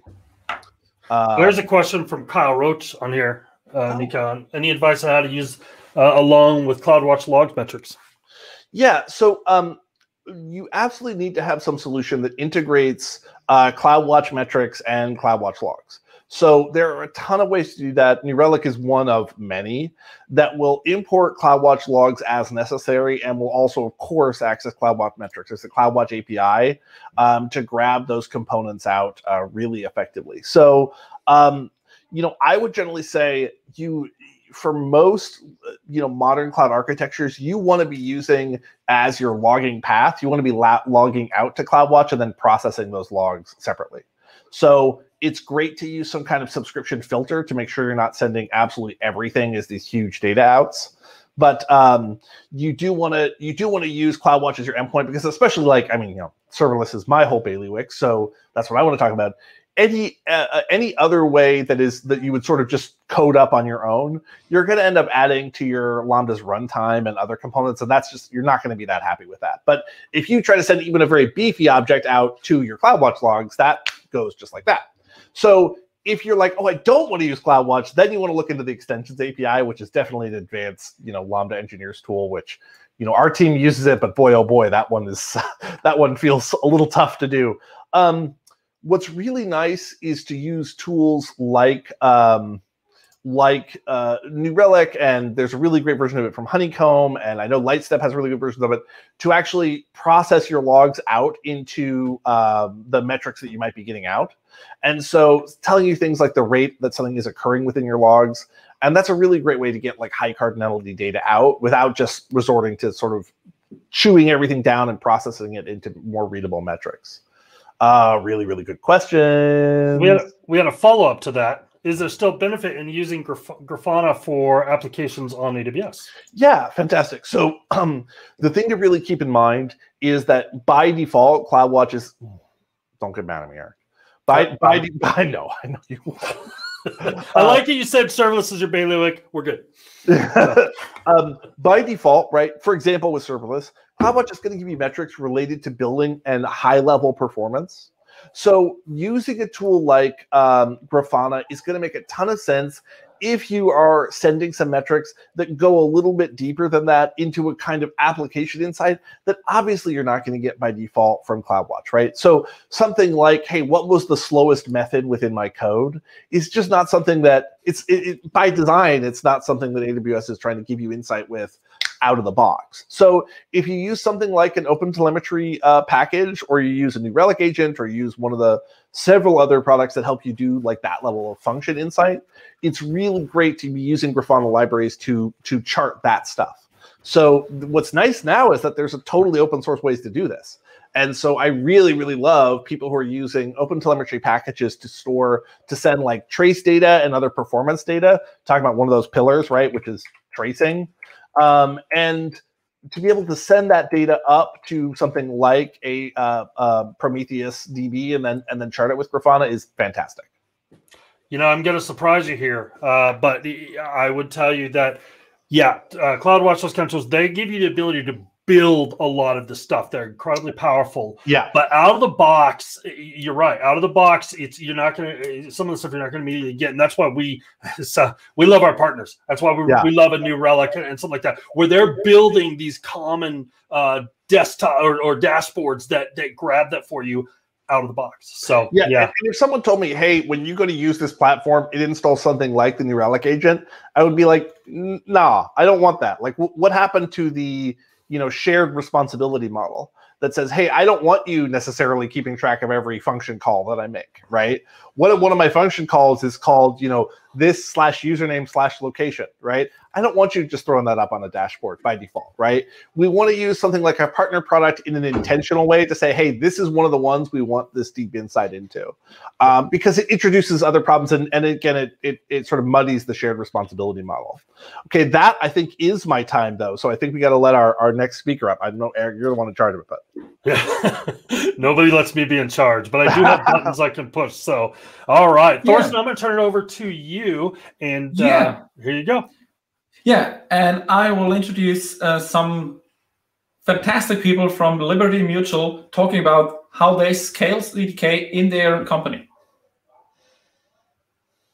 All righty. Give me one second. I'm going to share that out. We're also switching out our, our interpreter. So, Norma, you are up. I want to just take a moment and give a shout out to our interpreters Norma, Arthur, uh, Nicole, and Kim. Uh, you guys have been fantastic. Uh, and I appreciate it and thank you. And, Norma, you're on screen. Are you ready? All righty. Here we go. I'm going to take uh, Arthur off and then we'll start the video.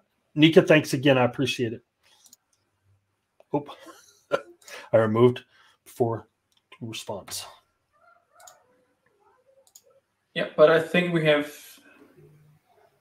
Yep, we've got uh, one more session here, uh, and it's a, it's a Liberty Mutual session, right?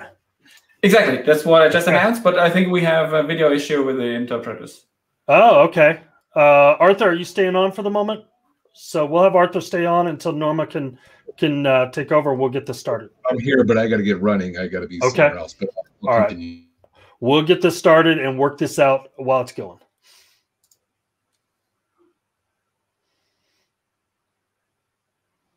The opinions expressed in this presentation represent the presenter's view about CDK, serverless, and AWS products for informational purposes. The content in any way should not be treated as an official endorsement of AWS technologies by Liberty Mutual and does not reflect the views of Liberty Mutual. Thank you for joining us today. Uh, we'll be talking about how we scale CDK using the software accelerator. First, uh, my name is uh, Rajesh Kannan Poraiyan.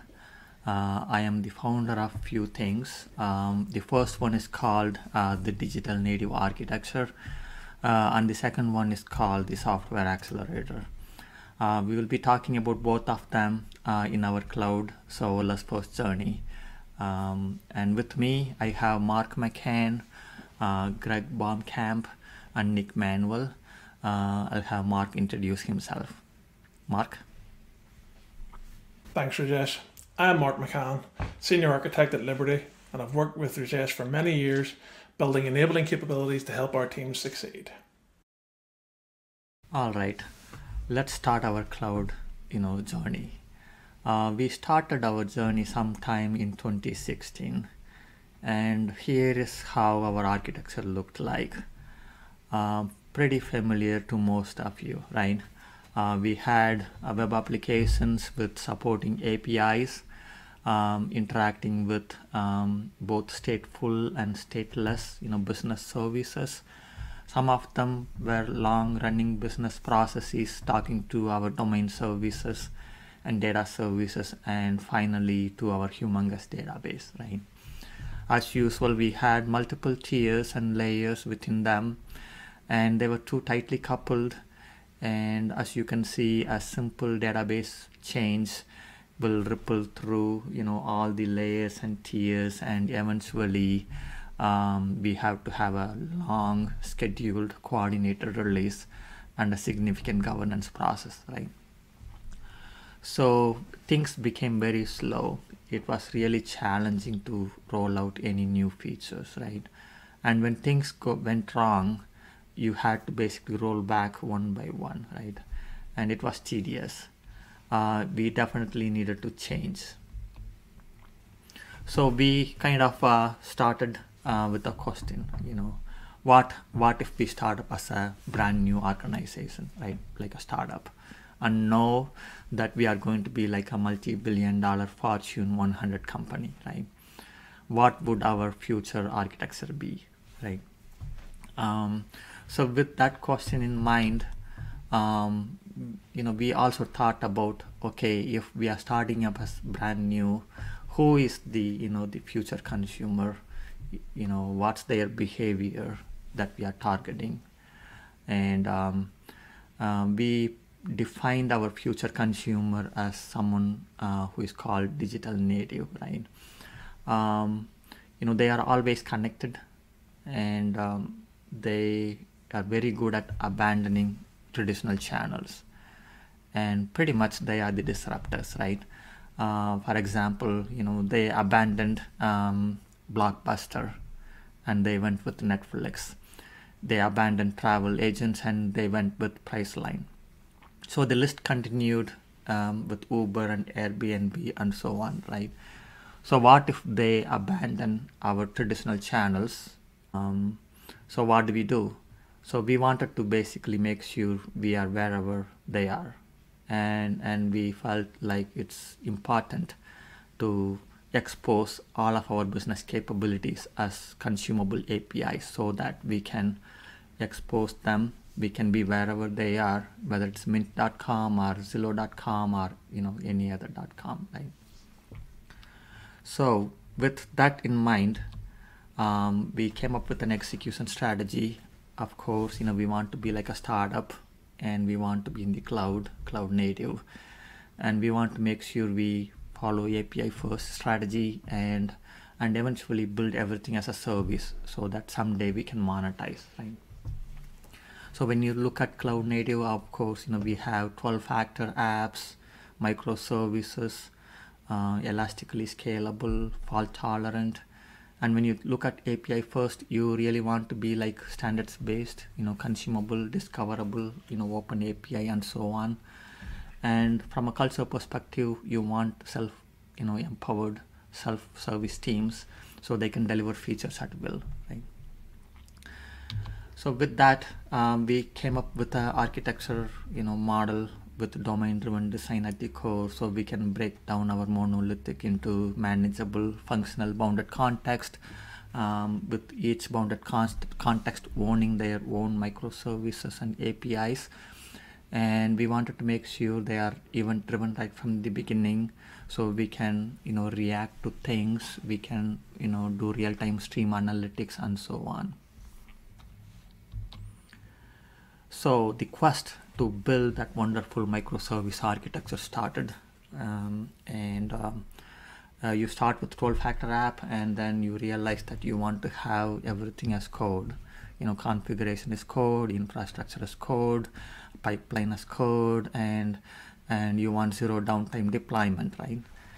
And um, so, and then your microservices, you know, they come and go, and you want to be able to kind of um, discover them at runtime so they need to be able to register somewhere so you can discover them right? So you want service registry and discovery and when things go wrong you want to be able to you know trace them you know distributed tracing and and you want observability and you know when things go wrong you want fault tolerance using circuit breaker right? You name it right? So here is that list you know by the time you google and click link after link you know read uh, one by one and spend many nights and weekends you are you know you realize that you know building distributed microservices is is really complex right? And it's um, very uh, time consuming um, you know learning experience. So we wanted to make sure um, our community you know doesn't feel that way. We wanted to make it easier in such a way that um, everything is packaged for them right? So we created blueprints um, in such a way that you answer few questions and you get a you know brand new bounded context. We called it as honeycomb um, with everything needed for you. A gateway a registry and uh, um, uh, distributed tracing and configuration and all you need to do is just build your microservice and deploy to it right? So everything was happening in minutes.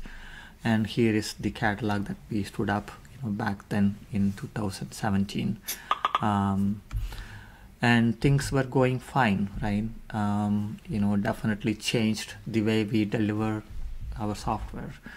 And uh, but are we better off right um, maintainability. Um, we were still doing a lot of heavy lifting um, on cluster management container orchestration. Uh, many of the open source projects that we used became inactive and um, community involvement we were too opinionated right?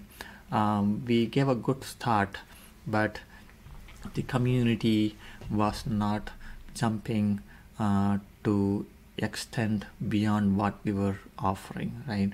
They did not really add any new you know blueprints. And innovation uh, the ability to innovate uh, was still slow right? So it was you know we were good but you know there were some lessons right? So what we did we took a step back again right?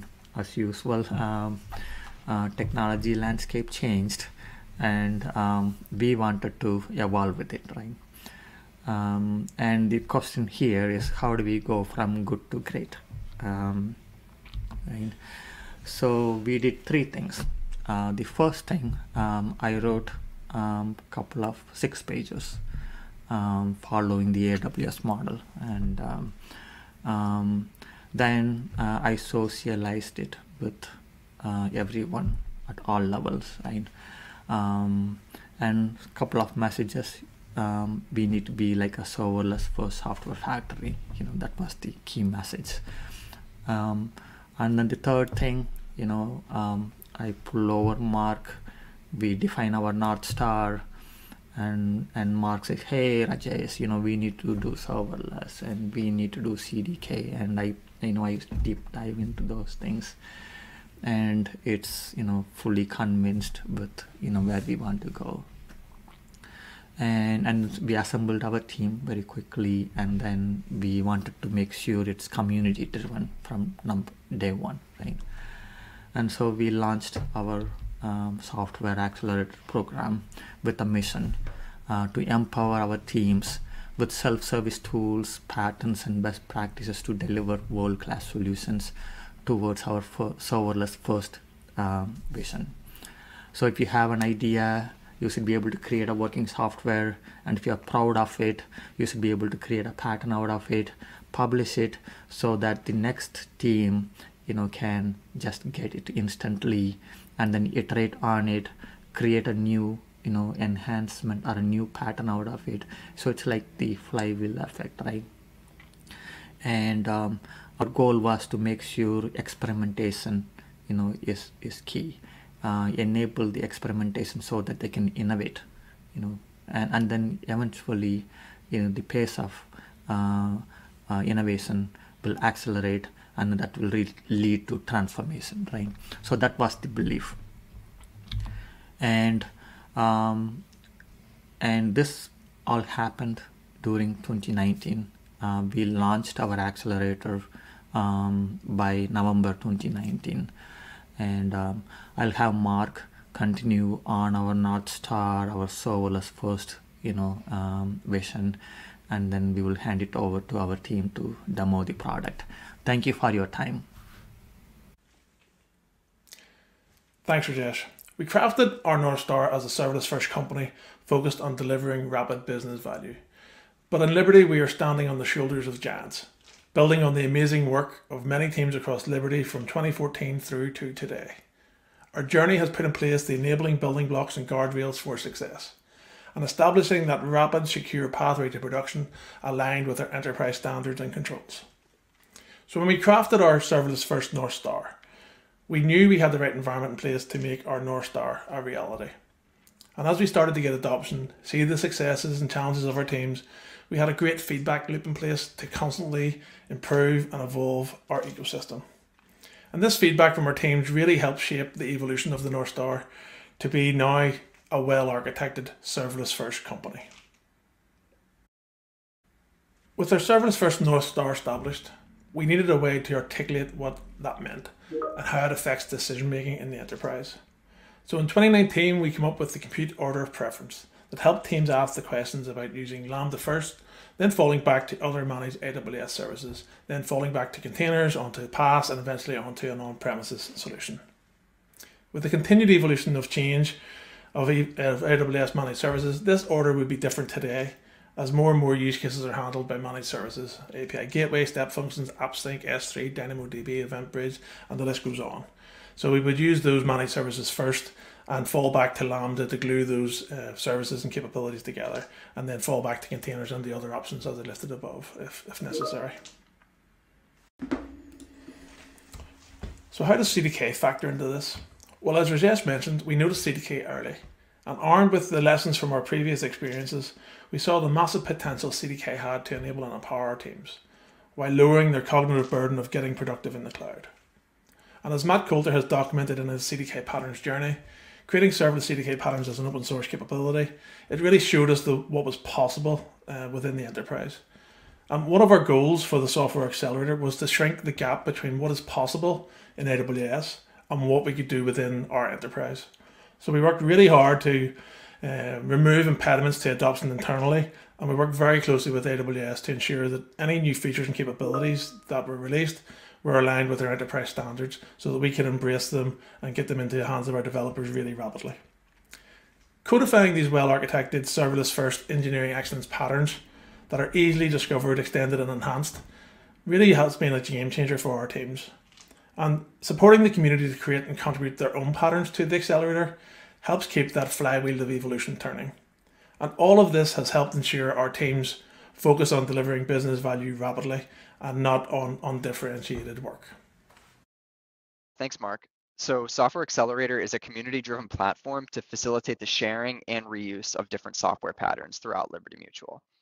It's built from the ground up to enable an entirely self-service model for pattern providers to create and share new patterns with Liberty Mutual's engineering community.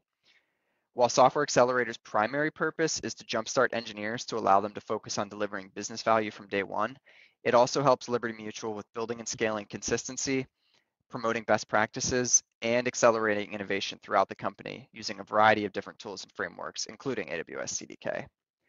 Software Accelerator strives to have all internal capabilities generated automatically. This includes things like source code repositories, the actual application code itself, and CI/CD pipelines with deployment environments. On top of all that, it'll even automatically deploy the generated code for you. All of these options that I've mentioned can be customized by the user's inputs uh, in the application. Now that we know a little bit more about what Software Accelerator does, I'll hand it over to Nick to show Software Accelerator in action from an engineer's perspective. Awesome, thanks Greg. So like Greg mentioned, I'm going to walk through how we envisioned engineers interacting with Software Accelerator. So I'll call out some of the key features and I'll also demo generating a CDK app using one of our pattern offerings. So we'll start here on our homepage. There are a few different paths we can take from here. So we've got a link here that will take us to documentation on how to contribute a pattern to our platform. But for today, we're going to focus on generating a project. So I'm just going to click on create here, and that's going to take us to our pattern catalog. So each item here in the list is what we call a generator. So a generator is just a microservice that has logic defined in it to spin up a project based on a corresponding software pattern. Like we mentioned earlier, a big part of our platform is community contributions and sharing knowledge. So you can see here, we also list the owner of each generator. And for us, this is just a good call out of not only who's contributing to our platform, but you know, also who maintains and supports each of these generators. So as we scroll through here, you can see we have quite a few offerings.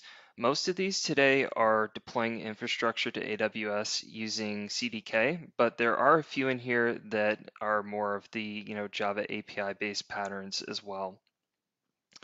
So we also have a generator here called build your own generator, and that does pretty much what it says. So it creates a generator and a pattern offering, and it contributes it, helps you contribute it back to our platform. So this was just our way of making sure that the community contribution process was as easy as it can be, and that it wasn't a limiting factor for our community.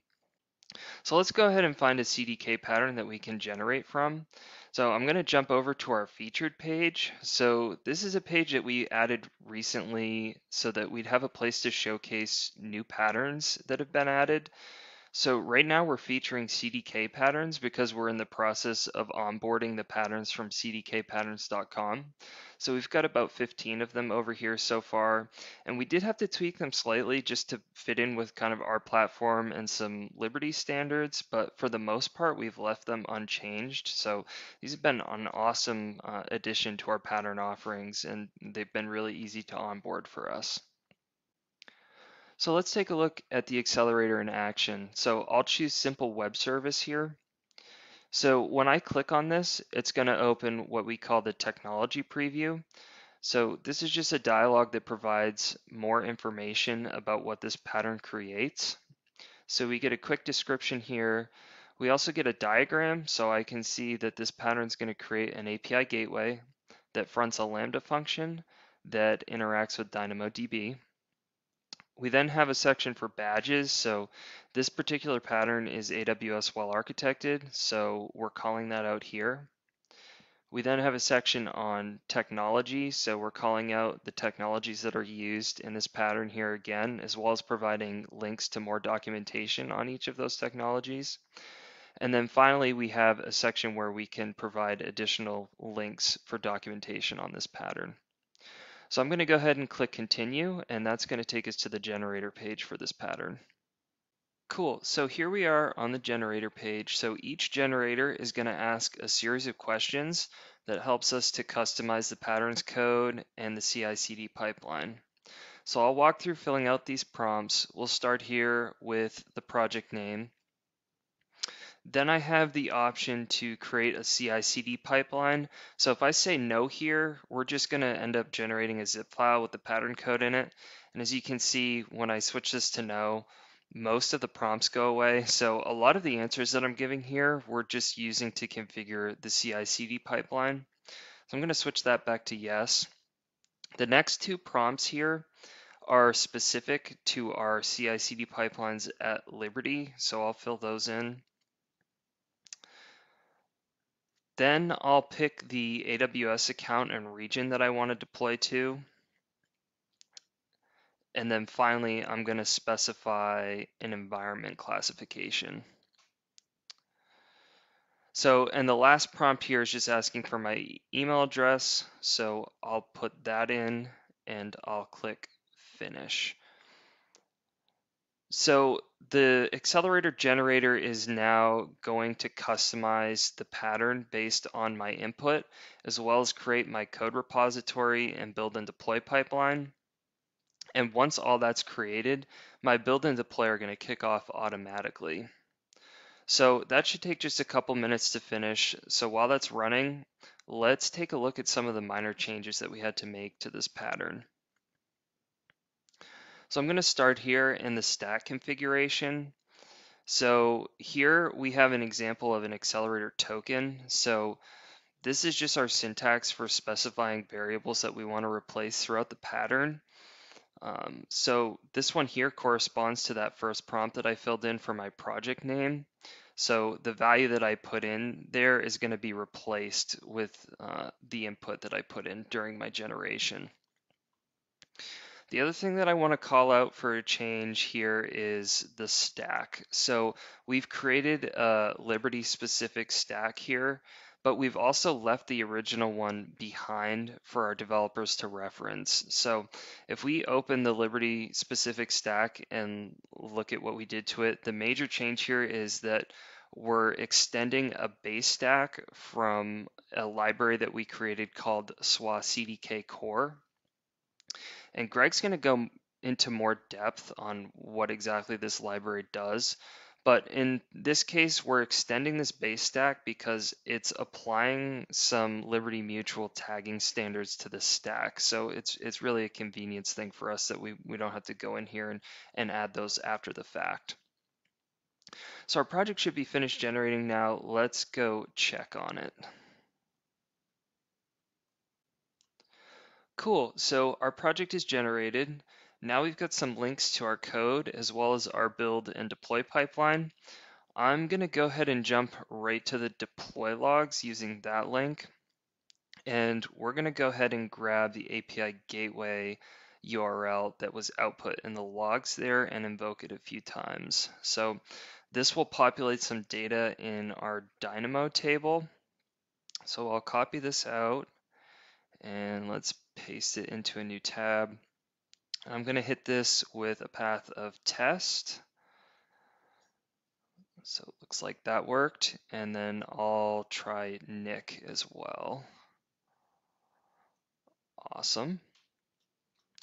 Okay, so now I'm going to open up the AWS console and take a look at my Dynamo table. So we can see in our table here now I've got an entry for test and Nick with one occurrence in each of them.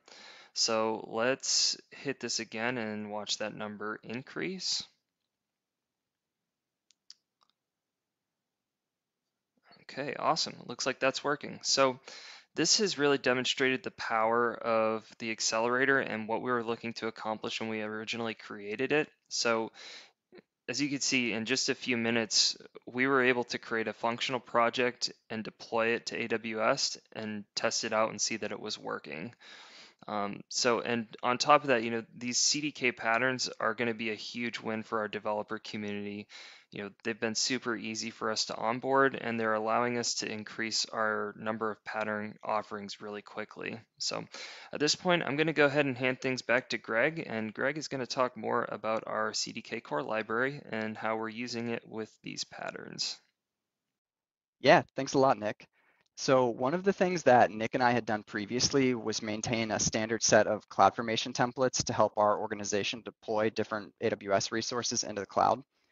We spent a lot of time maintaining that library, um, and there were still a lot of issues with things like tracking changes and helping users pick up those changes and pull them back into their own repos. So as soon as we began testing out CDK as a replacement for CloudFormation, we immediately saw the benefits of CDK over CloudFormation. Um, we also saw the power of creating these reusable constructs in code rather than YAML to help keep our maintenance times low. So with that in mind, we started the library SWA CDK core to start holding some of those components that we found we were using across pretty much all of our stacks.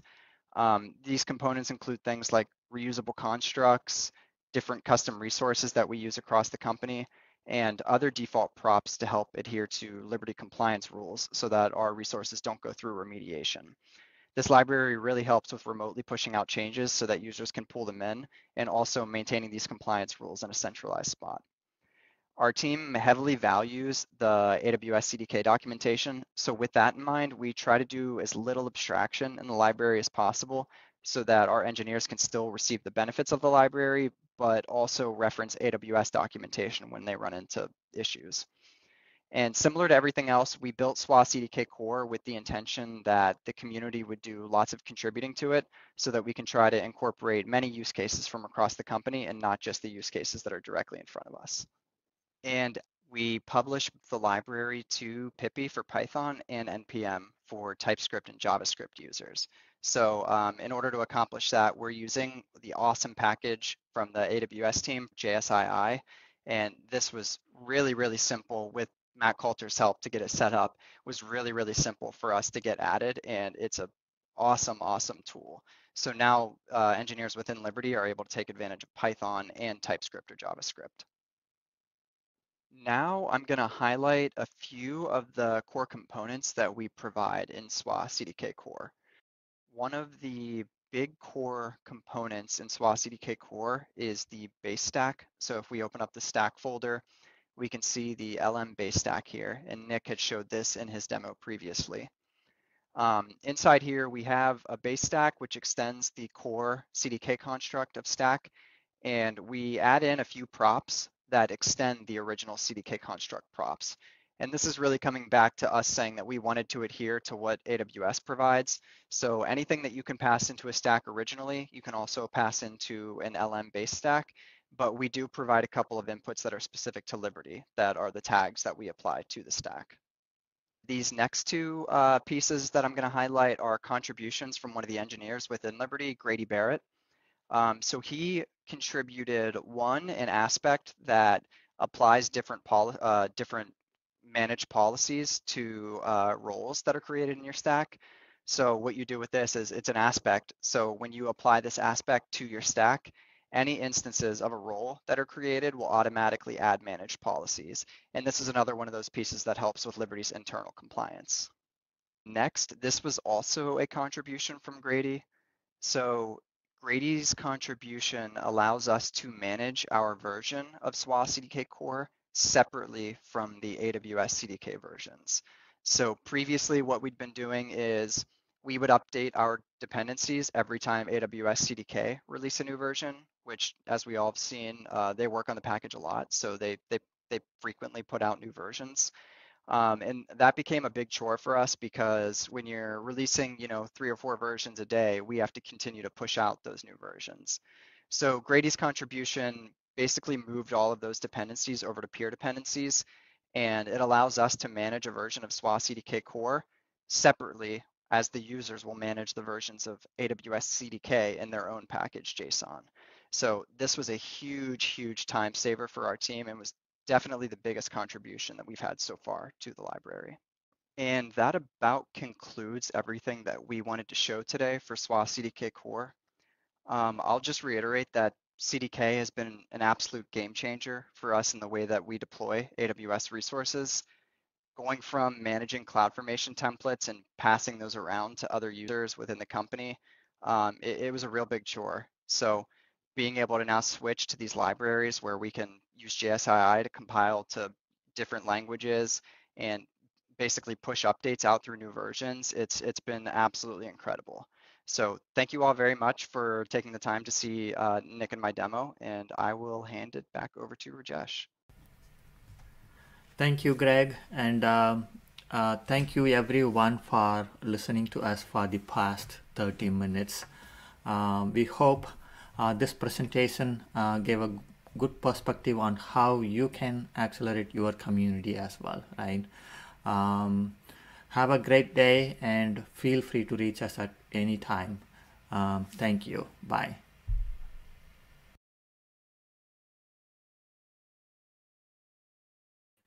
All right. What a great presentation. I said in the beginning of this, I'm not a CDK expert, but I have learned a ton. And it was really interesting to see a lot of a lot of the uh, developer tools and the developer uh, you know helps that, Liberty Mutual has done there. Uh, this marks the end of track one for CDK Day. I hope you've liked it. I want to give a shout out to Norma, who's who's repeating what I'm saying right now, uh, Alan and, and Arthur and Nicole and Kim thank you so much for for uh, doing the the uh, the signing for us, translations for us. I want to give a thanks to our speakers. Uh, as well as the the team that put this together uh, with Matt Coulter and his team. I won't go through naming them all. I encourage you right now. CDK Track Two is not over, and Elad is going to be talking about what's coming up for CDK uh, and and you know what, what's next. So I encourage you to jump over there. It's s12d.com forward slash CDK day two is for track two. So it's going. Uh, again, thank you all for joining us and jump over to track two. We'll see you later.